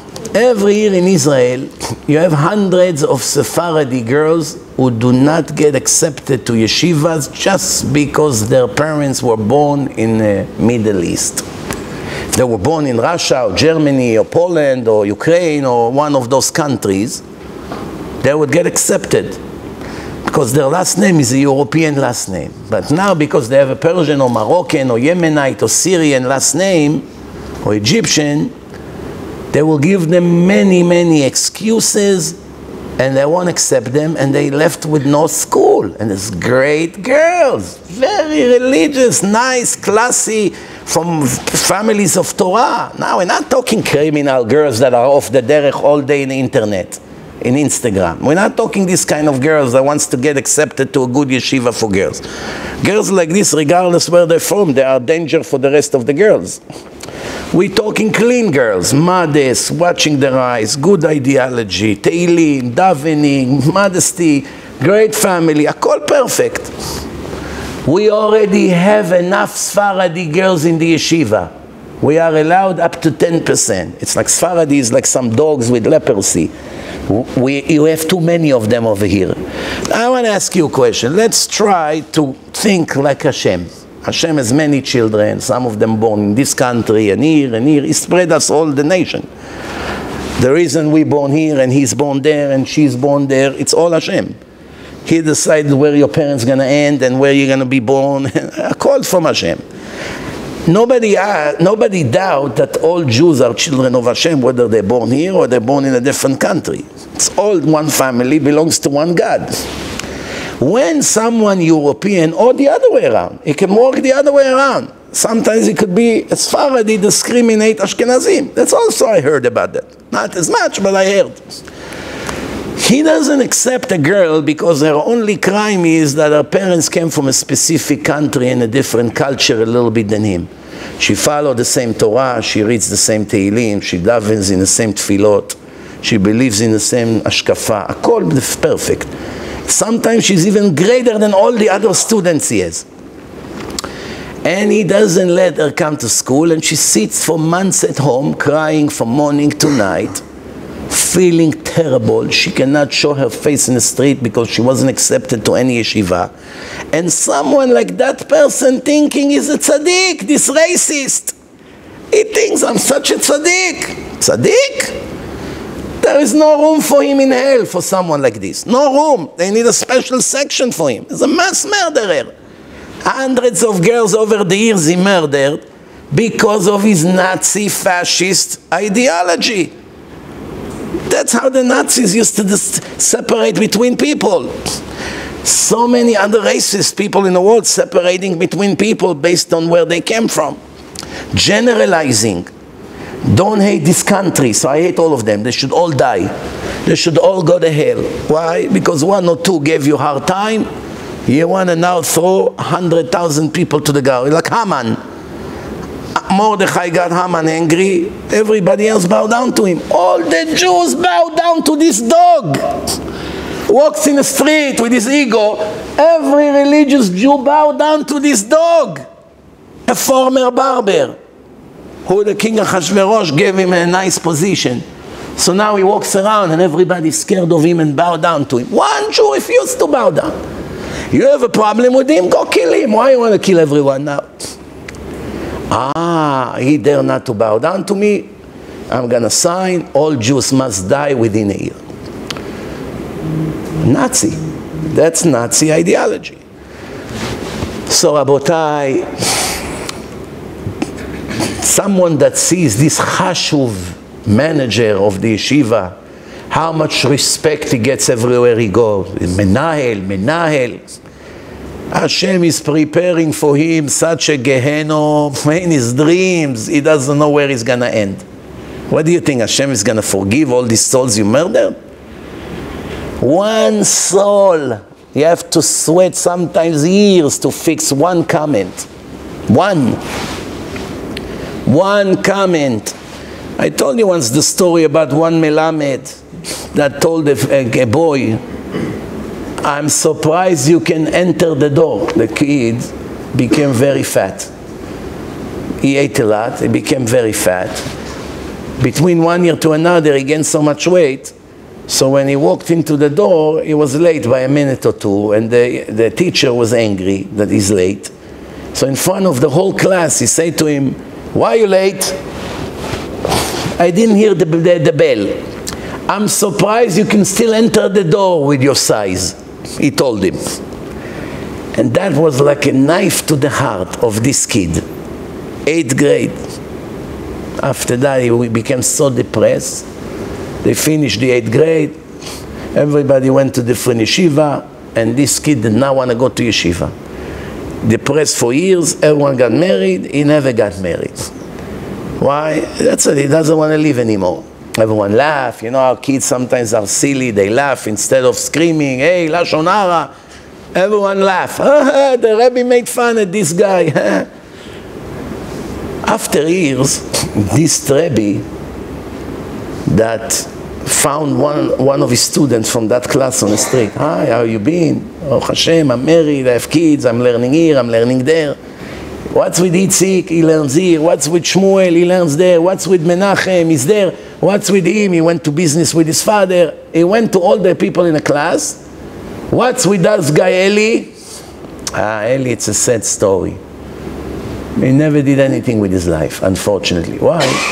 He was very depressed for years. He living in some room, depressed. Did not get married, doesn't learn, doesn't work, nothing. Why? I'm, I'm afraid to say, Rabbi, but it's probably your fault. What? Remember you insulted him when he was in class and this? From that moment, it was the breaking point for him. Doesn't want to hear anything from religion, people, nothing.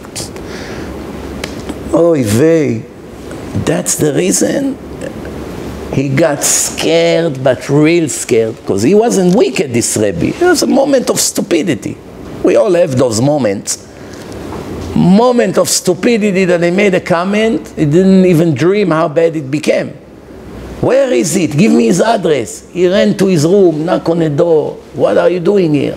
I came to apologize. I'm begging you. Wow, I cannot believe what I've done to you. Give me a, a chance to fix it. You want to fix it? I give you a chance to fix it.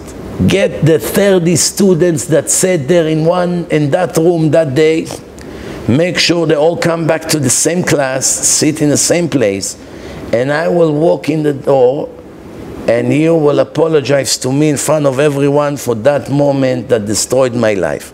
And after you do that, I will forgive you. He said to the boy, it's not realistic. One lives in America, one lives in England, one lives in the north, one lives in the south. Where will I find all of them and bring them all into the class? I have to buy them uh, airfare. It's your problem, not mine. Next time you think before you make a comment and insult a person in public.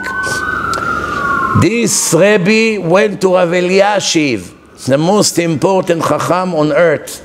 Until a few years ago he was alive. He was the general rabbi. Rav Eliashiv, I have a big problem. I actually murder a soul. Not intentionally, I never dreamed that it's gonna turn so bad. But that's the story. Now the boy is demanding a very cruel request. I'm to gather all the kids and to cost me, I calculated, it's going to be $17,000 to get everything, everyone back into that class. I have to buy airfare to one guy and pay him for the for a few days of uh, off from work, from America, fly him to Israel. The next one, one wants to come with his wife, he doesn't agree to come by himself. I calculated it's going to cost me roughly $17,000. That's more than I make in a year. I work from morning to night, standing all day in a class teaching Torah. A year I don't make that in Israel. Do I have an obligation to burn a year of my life to repent for that one comment that I made? That hurt that sensitive boy so bad, which I never dreamed that it's obviously if I knew it's going to be like this, I would never dare to speak. Rav Eliashiv asked him, I'm surprised you even came to ask me this question. What do you think is the answer? Of course you have to. You don't learn Gemara every day? המלבין פני חברו ברבים אין לו חלק לעולם הבא. Someone that insult his friend in public lost his share to the world to come. You willing to take that risk? All your life, 50 years, you teach Torah, and in the end, you're going to come to your court case when you leave the world, and Hashem say, I'm sorry, you cannot enter your place in heaven. So what's going to be with me? You have to be reincarnated again. And you're going to have to meet that soul that you insulted, insulted and destroyed their life. And after that, you will make it up to him and you suffer and you're going to go through a whole lifetime just for that one minute insult. And maybe then you go to heaven. But until then, you have no share to the world to come. It's suspended. You have a license, but it's on hold, suspended license. Can't drive. You drive, you go to jail. What? But I'm a great driver. Big deal. I speed a little bit in Ocean Parkway. Instead of 25, I drove 36. So I got a lot of tickets. Uh, suspended my license. No big deal. Well, I know how to drive. Come on, for driving 35, you, you want to give me suspended? That's the law. Can't drive. You drive, you go to jail. Nobody care. No judge would care that you're a driver for 40 years and you never had one accident. Nobody care. Nobody care if you prove to the judge that you drive better than a million people in Brooklyn. You broke the law. You go to jail.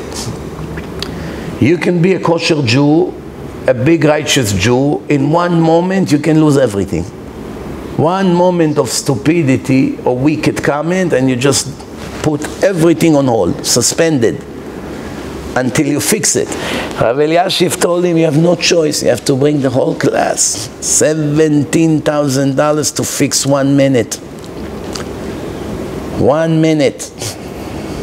Rabbi Yehuda Nasi pushed the calf, a baby cow, came to put the head under his dress because they were taking that calf to slaughter him in a slaughtering home. And Rabbi pushed him. Go. Why? Because you, you were made to be slaughtered. We have to eat meat. Yom Tov coming, Shabbat. Did he say something that is not true? We all eat meat almost. I know some of you may think, no, no, I'm a vegetarian. I don't eat meat. I don't eat dead, dead bodies. One person wrote me an, uh, an email. I don't have this habit of eating someone that was killed by someone else. I don't eat bodies, meaning I'm a vegetarian. He wrote it with such a pride, he's such a noble tzaddik, but he's the dumbest person on earth. How come? Why is he vegetarian based on his email? Because he has mercy on the animals. He can't stand the fact that they take a big knife and slaughter a cow and rivers of blood coming out of the neck and the cow reflex move for a minute or two after and in the end they take off the skin, take off the head, cut all the dirt, clean the stomach, wash everything, put salt and later you buy it for $20 a pound right here in Ocean Parkway, I don't know, Kings Highway, whatever. He can't stand that. It's barbaric religious people, oh, Rabbi, it's awful. You guys are still living in the old era, you know. Why don't you eat meat? I have mercy on animals. Ah, so you are more righteous than God Himself. The one who created the animal and, and warned us in the Torah never to be cruel to them, never to torture them, never to starve them. And there's a list of restrictions what you're not allowed to do to animals and he told us if you want to eat that cow or that sheep, this is the way it's permitted to kill the animal. Make sure the knife is very smooth, make sure it's fast. Why? Because it's going to be an installment, the animal will suffer. If the knife is not smooth, the animal would suffer. You make sure you check the knife carefully. The animal does not feel even one second of pain. Not one second even. One, if I give you a big punch by surprise, you're going to have about three or four seconds of sharp pain until you faint, right? Until you fall and faint. But the, the, the punch was very painful, or a smack, very painful. The animal didn't even feel that smack, nothing. Because as soon as you cut the arteries in the front, the nerve system the, the, the, connection between the brain and the nerve system immediately get disconnected. The fact that the cow has all kinds of reflex and jumping and moving, that's because the message was already sent from the brain through the nerve system to move the ligaments and the muscles and the bodies. The signal was sent before the slaughtering, so it's already traveling in the body it still it makes all kinds of reflex, but it doesn't mean she's alive. She's dead already completely. And there's no pain whatsoever. And now you eat it. Rabbi that did not have mercy on a calf, a little calf. It's not my son. It's not a baby in yeshiva that I have to have mercy on. It's an animal, stranger. It's, I don't own it. I have to have mercy on every animal in the world. But the fact he pushed it like this with no mercy, what was his punishment? 13 years of horrible suffering and pain, stones in his kidneys, and there was no laser. Come tomorrow, we'll break it. Do you know the pain that someone has? Sometimes they have kid, stone size of a plum or a big olive. They have to break it with a laser. Until they break it, you know the pain that people have in the kidneys?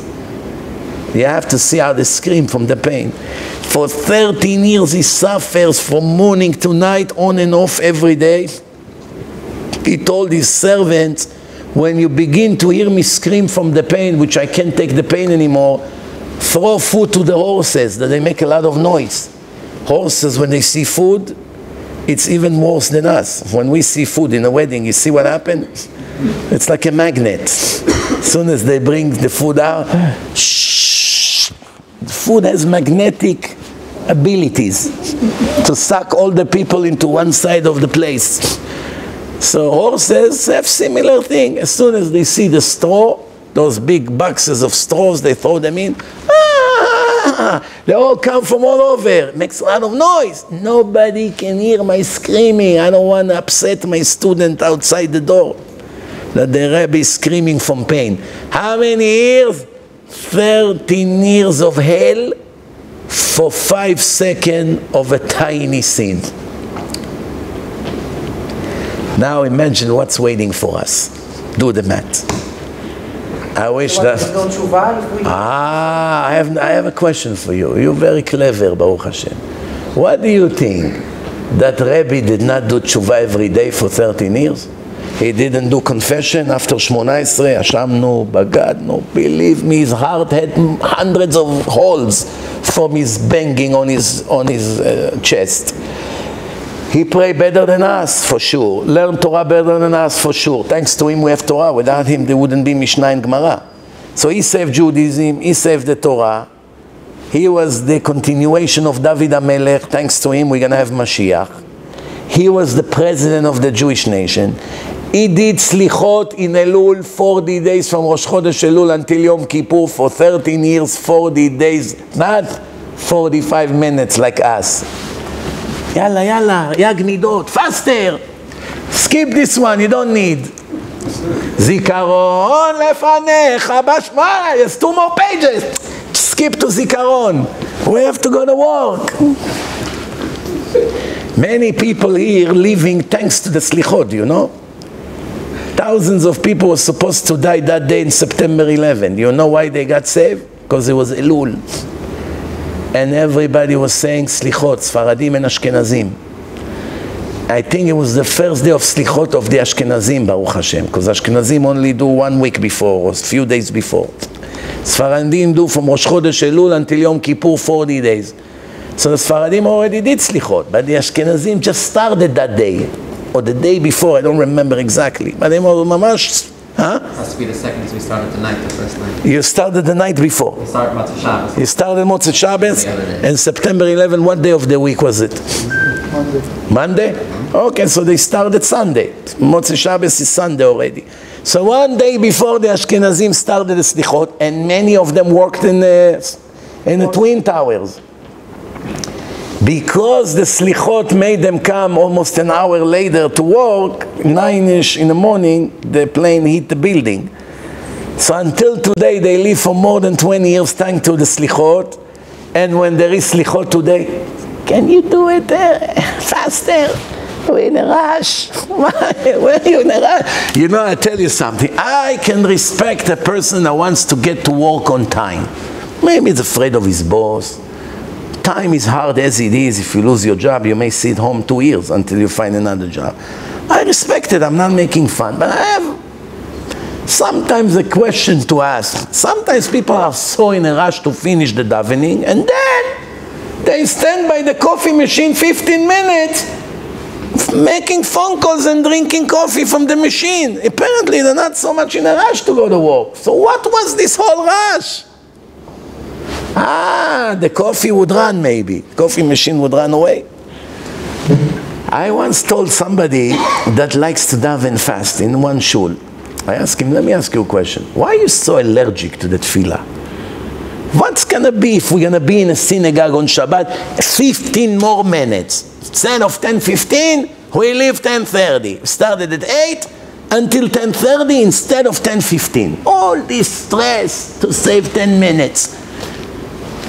So, ah, it's Torach Tzibur. you know what Torach Tzibur means? You're not allowed to torture the public.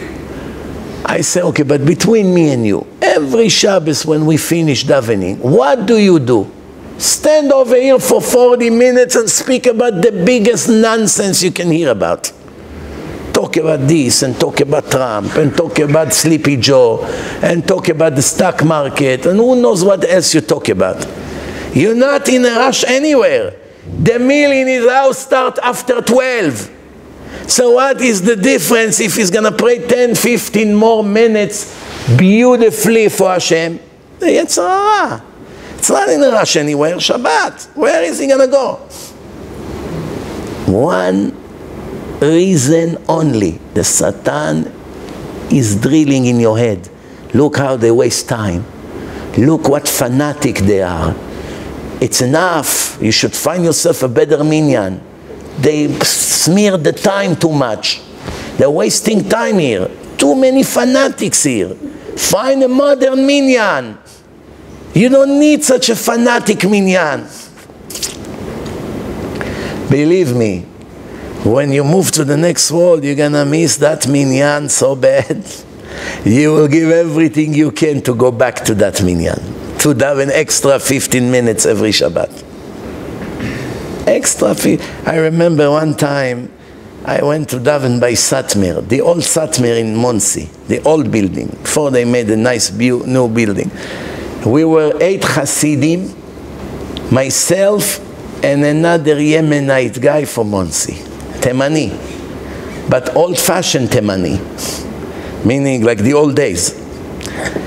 So we are exactly 10, and this is the last minyan, 10 to 1 at night, meaning at 1.05 it's midnight. No more minyanim after that. Last minyan. I came from a lecture, the Temani was in Monsey, the eight Hasidim are from Monsey. That's why it's such a small minyan, because it's the last minyan. One daven already earlier.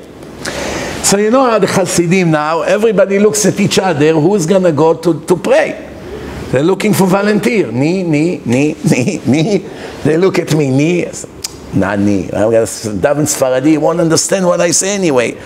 I rather try to understand what you say than you try to understand what I say. Then nobody wanted to daven. They look at the Temani, me. I promise you one thing. Today we are more than 20 years after that me and they still have nightmare from that knee until today. and they say to the Temani knee, knee, knee, knee. He took talit, one o'clock at night. what are you doing in Hebrew? מה אתה עושה עכשיו when they hear Hebrew בכלל, they allergic to Hebrew, סאטמר. Oh my God, you're contaminating the soul, you're a Zionist. אבל how am I going to tell him what are you now doing in front of this Hasidim? You're making bushot. But he doesn't care. Like this, head to the wall. He started to daven in a Yemenite style. Oh, but they have so many mizmorim. And I see these 10 Hasidim, they're dying to go to bed. 1.15 already at night. And who do they blame?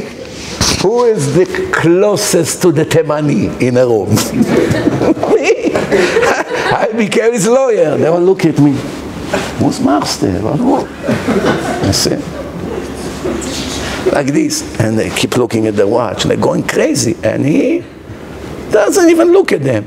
שיר למעלות, da da da da da, 130 already.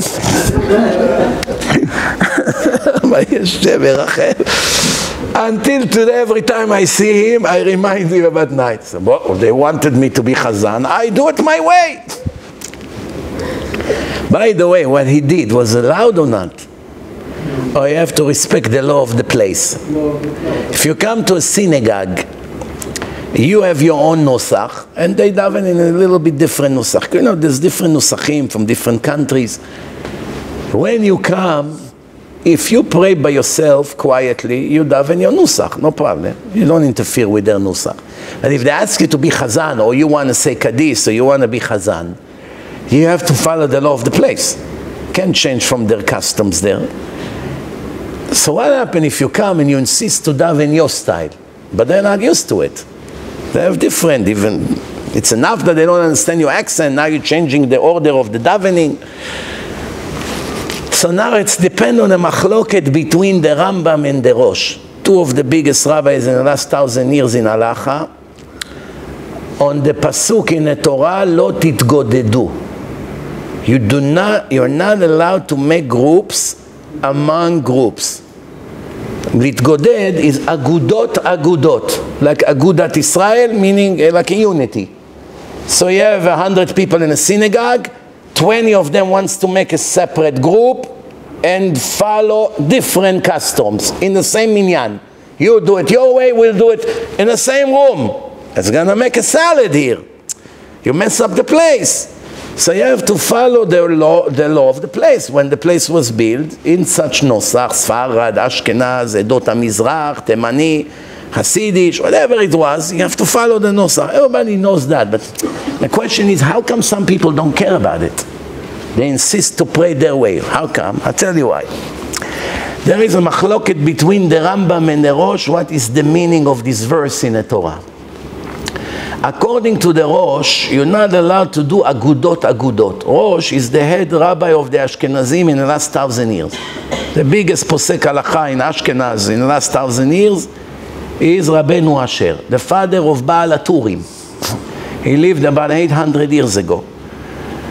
He was one of the three poskim that Rabbi Yosef Karo took to the Shulchan Aruch because he needed three and to follow the majority among the three. So he took the top three, the Rif, the Rambam, and the Rosh. Three top authorities in Halacha. The Rosh, it happened to be Ashkenazi, Ashkenaz. So whatever his psakim is, most of the Ashkenazim follow, the Rama and other Ashkenazim. So what happened? The Rosh explained this pasuk, you're not allowed to make a group that actually rebel about the law of the place.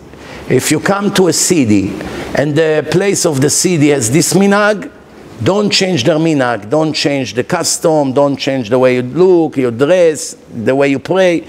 Leave the law of the place and join it or go to a different place. But over here, follow the place. The Rambam said the meaning of this verse is different.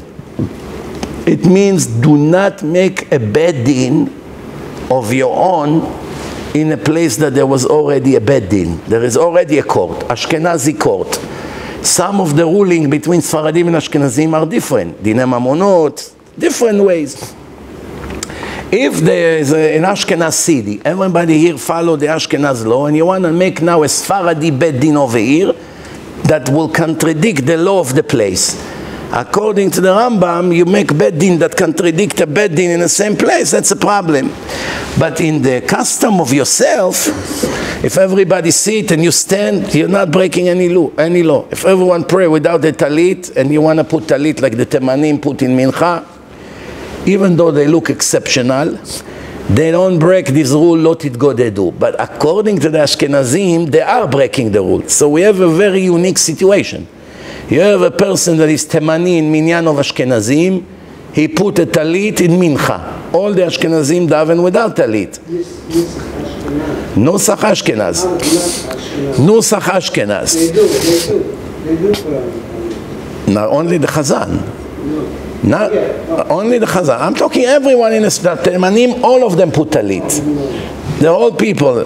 So the question is, if the Temani put a talit inside an Ashkenaz shul, according to him, he doesn't break any rule. But according to them, he breaks the rule of Lot Godedu.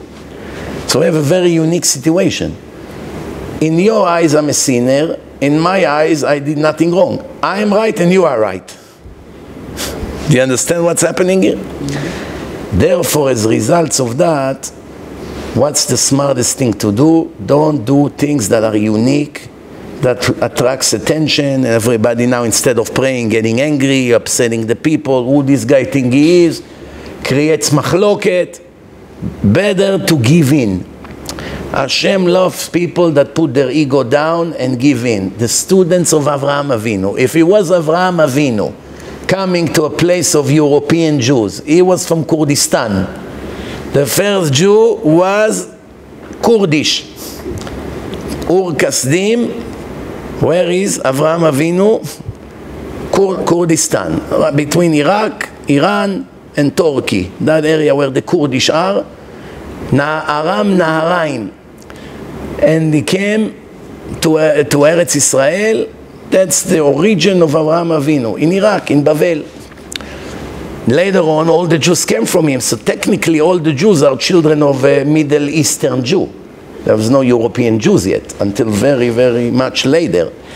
All the, all the names that you read in the Gemara, it was all in Babel or in Iran, in, in Persia. Some of the Tanaim live on the other side of the border in Persia, which is also the Middle East. And some of the Chachamim lived in Eretz Israel, but there was no Ashkenazim yet. There's no Europe. Jews went to Europe later on, much, much later on, hundreds of years after the Talmud. They started to go to Italy and France and to all these places, and that's how you started to have communities in Germany and other places later on in time. And now, Baruch Hashem, we have all kinds of cultures. I want to just finish by reading to you the continuation of the words of Rav Leib Chasman. We finish here people can learn one is generous, one is flattering the other, one is happy that the other is growing, and the other one cannot stand that his friend is growing. He cannot stand that someone made money. He cannot stand that one student now in the last year made a great progress. Instead of being happy that other Jews are growing spiritually, that, his, that her friend is now much more modest, that her friend became much more serious in davening, that she now comes to shul. Until now, she never came to shul. Instead of being happy, she's sick at home. Why are you sick? Don't ask, I don't feel good today. Why she doesn't feel good? Because her cousin became more righteous than her. Someone that loves Hashem, if he sees that his friends became better than him in religion, should be happy or upset? should be happy for him and upset for me. Meaning, the Torah allows to be jealous with someone's spirituality. If he grew in Torah, I can be jealous why I didn't grow like him. I'm very happy for him. God forbid, I don't want him to go down. For him, I'm happy. I'm very, very happy for you. I'm, I congratulate you. I'm only upset at myself why I did not invest like you did why I didn't achieve your achievement. I'm allowed to be jealous with you in Torah. I'm allowed to be jealous with you in modesty. I'm allowed to be jealous with you with your chesed. I'm allowed to be jealous with you with your midot, with your great personality. When I see a tzaddik, immediately I'm jealous with him. Automatically. Immediately I think, ah, if I, if I was only Rabbi Yaakov Ades, oh, what a happy man I would be. Imagine if I was like Rav Dov Kook or Rav Mordechai Steiner, all these big tzaddikim that attached to HaKadosh Baruch Hu 24-7 every moment of their life with no nonsense, without seeing all kinds of reshaim, without listening to all the kfirah that I have to hear, living a perfect, pure life from the minute you're born in some yeshiva, 80 years of purity, and Torah and devotion and attachment to Hashem, and the light of God is on you every second of your life. You have to come to the Kotel and see Rabbi Yaakov Ades, how he pray every day. The day we pray on Yom Kippur like he pray regular Shachrit, then you'll know we reach a very high level. But for him, every day is Yom Kippur. How can you pray every day for 50 years with crying to the sky with screams? Every time. Now, one time you went out of your rule. How can you do it? What, are you a robot? You don't have ups and downs? How can you pray to God with tears and screaming like this from morning to night for 50 years, 45 years, like this. And it's not only righteousness, he knows the whole Torah by heart, the whole Shas, every line, every word, every page. He has dozens of books. Each book is 2,000 pages. They don't even print it. Nobody understands the level of his Torah. He's a whole different planet from the generation. Super genius, photographic memory, highest level of tzadikut, righteousness, living in the most simple possible way, attached to the Shekhinah non-stop, crying for the situation of Am Israel non-stop, and lives in our generation. When you see someone like this and you're not jealous, you're not normal. You have to cry that you're not jealous with him. Who are you jealous with? LeBron? Who are you jealous with? With Sleepy Joe? With Bill Clinton? With who? With Bernie Sanders? Hussein Obama? Who are your heroes? This baseball guy, or the football guy, or the basketball guy, or the boxer who breaks people's face for a few million dollars? Some monster, every day new monster. Who are the Jews jealous with? Listen to their conversation. They go in a restaurant, go to the Glatt Kosher restaurant, put a recorder and sit in your office and listen. Put, uh, put it in a, in a restaurant, in a table, sit in the office from morning to night, and listen to the nonsense that the religious people speak in the table. You're not going to believe the nonsense they talk about, especially the Americans. The American culture is so rotten, it's unbelievable that people has a yarmulke with a beard and you expect them to be orthodox and they're worse than the secular people. They know every player in a league, they know every contract in a league, every coach, every football player in a college, every college team. Ask them one page of Gemara to explain deeply, they don't know. With ArtScroll. But I can tell you every contract of every player in the NBA or anywhere else. They'll tell you every steak, what part of the animal and what dessert and who's the chef and the, and the everything. They know every restaurant, they know every vacation resort, resort, they know the yachts, they know all the marinas, they know in Miami every hotel. And in the end, they really think that they are religious with such culture of goyim. You see what time they arrive to shul in the morning. It's barely mincha already. You see how they behave in a business. You see how they talk to the customers. You see their level of emuna, and you want to cry. With this kind of people, you definitely don't want to be jealous, even though they make millions, many millions. So what? The millions will remain here, and they will only cry that they will say goodbye to those millions, not even getting to enjoy them. Many of them leave the money.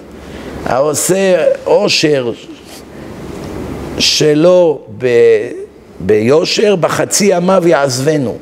Someone who makes uh, wealth in a dishonest way is guaranteed to lose it in half of his days, meaning either he die young or the money would leave him when he's young, one of the two. But he won't even get to enjoy that money. Government, FBI, his children, his drug addict son, well, you know, all kinds of problems. Reality, Rabotai, we are now getting close to Elul. That's it. Soon is Tisha B'Av. Right after that, shortly Elul. Almost is here. Almost Elul. Before you realize, it's going to be Slichot around the corner.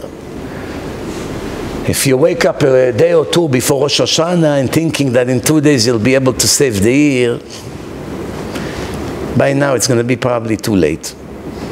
There's so much to fix.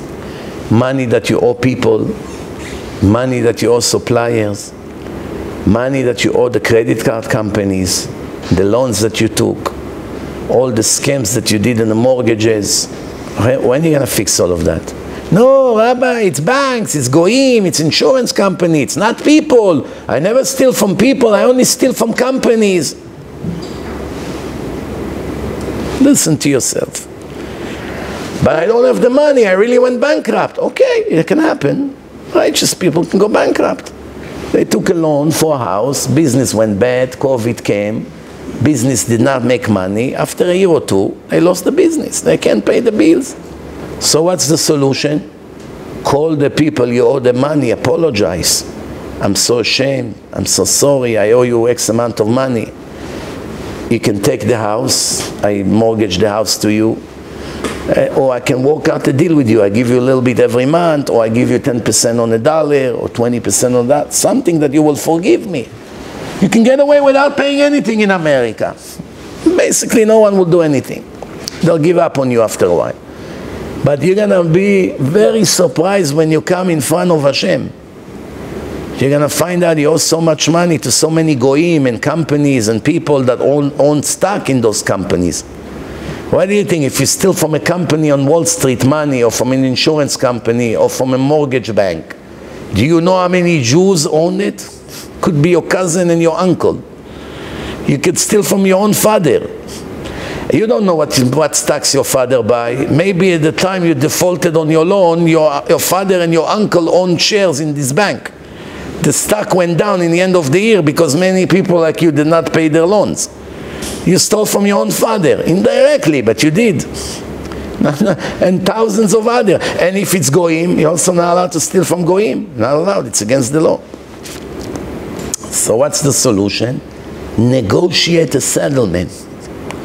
Usually all people, creditors that you owe the money, willing to negotiate an unbelievable deal. 10% on the loan, that's it. They'll take it. For them it's a lost money. And they will send you a mechila, waiver. And you just got away with 90% legally. Legally. They actually mochel.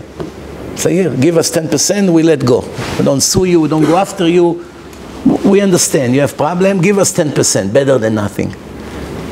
Great bargain. Some people are so greedy, even the 10% they don't want to give. They don't want to give. You see, some friends are religious friends until it comes to the money. Soon as there's money issues, you see the real face of a person. Right away.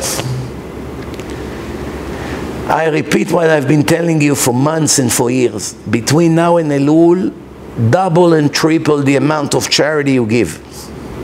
The world is shaking. Everything can fall in a minute. Everything can collapse in a minute.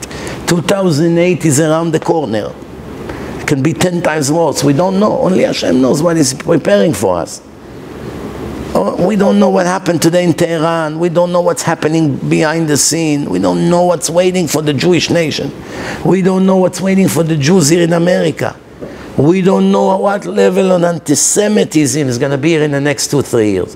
When a million goyim would lose their homes as results of uh, defaulting on their mortgages and loans, everything costs double and triple. People cannot pay the electric bill gas bills, the credit card bills accumulate interest, people collapsing. There are going to be many goyim collapsing. And many of them are Nazis. Many of them are fanatic Muslim murderers. Many of them are allergic to Jews as it is, even when they live the life. Do you know how angry they're going to walk around and see with your yarmulke, with your Mercedes, and your expensive watch? and sitting in a fancy restaurant over here. Do you know what riots can come in a minute? You don't know. Every day didn't happen is a miracle, I promise you. Huge miracle. We take it for granted. Hashem is watching, Hashem is watching. Sometimes Hashem loses patience to us. In case you didn't realize, check the Holocaust for a few years, what happened. Hashem was around, but look what happened. Check pro- the solution is to do serious tshuva, everyone to make a list of what he has to improve and start working on it. Praying better, giving a lot more tzedakah, dressing like a Jew. If you're a girl, make sure to dress super modest. Enough with the fashion garbage that you get all kinds of idea from all these stupid magazines. Enough with these fancy schmancy vacations. Enough with these fancy cars and all this greed enough with all this jewelry, enough with all this nonsense. Focus on simple life. on life with devotion to Torah and Hashem, with raising children to be down to earth, simple people. Doesn't matter how many millions you have in investment right now. Today you have it, tomorrow you have nothing. You don't know what's going to be with you in a year. How many people went to sleep billionaires and a week later they have money? Roman Abramovich was 30, or had 30 billion dollar overnight. They froze all his assets. He went to all his friends. He has a yacht worth 350 million dollars. He owned houses, property in Israel that worth hundreds of millions of dollars. He owned a soccer team that worth three billion dollars. He owned oil and investment and money and houses here. A dinner for him was $65,000 in average here in Manhattan. A dinner. 65,000 on his credit card bill. I saw the receipt. Overnight, he didn't have what to eat. He couldn't pay his gardener, his driver, his bodyguards. He wanted to borrow one million dollars from all the friends that he helped and help and gave them money and help and found them jobs and set them up and bought them real estate. Now one of his friends agreed to lend him one million dollar, which is peanuts for them. We're talking people that make it in a day, his friends. In a day, they make a million dollar net. You don't sacrifice one day to your friend that helps so much to you. Now one agreed to lend him one million dollars. I don't know what he did in the end. So far he's surviving. They froze all his assets because of Putin. American justice. You have a friend that America hates, they go after you because they're afraid to go after your dangerous friend, meaning Putin. So they can't mess with Putin, so somebody like Putin and he's his friend, let's torture him to hurt Putin. The Torah doesn't allow such thing. Torah says everybody has to pay for his own crimes. Is your friend. What does it have to do with me? I told him to kill. I told him to attack Ukraine. I told him to do what he does, but I control him. He listens to me. I can tell him do or do not. You know he's not going to listen to me. So I'm his friend. I was his friend until now. Now he decided to go crazy. Why do I have to lose all my money?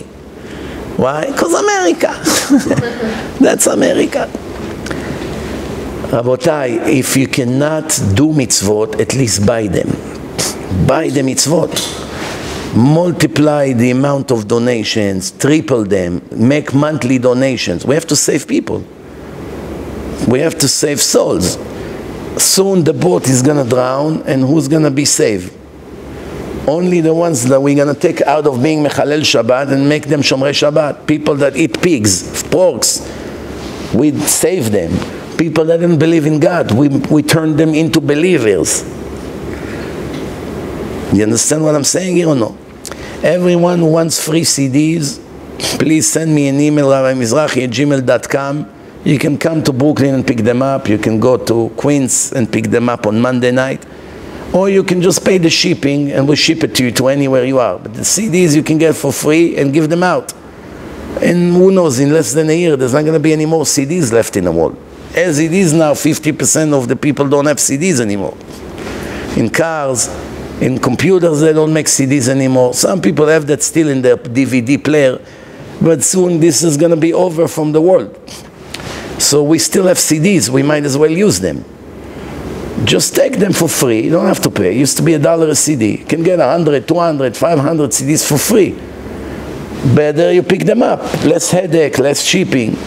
If you cannot pick them up in Brooklyn or in Queens or in Monsey, we'll ship them to you, whatever the cost going to be. Pay just the shipping, get the CDs and put them out. Put them in places that people have access to it, they listen to it. Just today, someone from Israel sent me today a message that now he had my CD pad to the jazz for three years on his desk and today put it in for the first time and listen to the entire CDs. This is almost 30 years, uh, 30 hours. That CD between yesterday and today, 30 hours, and he now is in very high spiritual level after he listened to that CD. He's in. Another soul got saved for one dollar CD. One dollar saved the soul. Now it's not even a dollar. You can get it for free. Just, just put them in places, car wash, supermarket, bookstore. Put them in places where people go, restaurants. I don't know where. You find a place where to put them. People will take them. Worst comes put them in the garbage. In few months, they're going to go to the garbage anyway. You might as well take advantage. Save other people, Bezrat Hashem. Thursday, I have another lecture here in Brooklyn. You have on my calendar the address. Everyone is welcome. It's open for the public. It's going to be in English. ברוך אדוני לעולם, אמן ואמן. רבי חנניה בן הקשיא אומר, רצה הקדוש ברוך הוא לזכות את ישראל.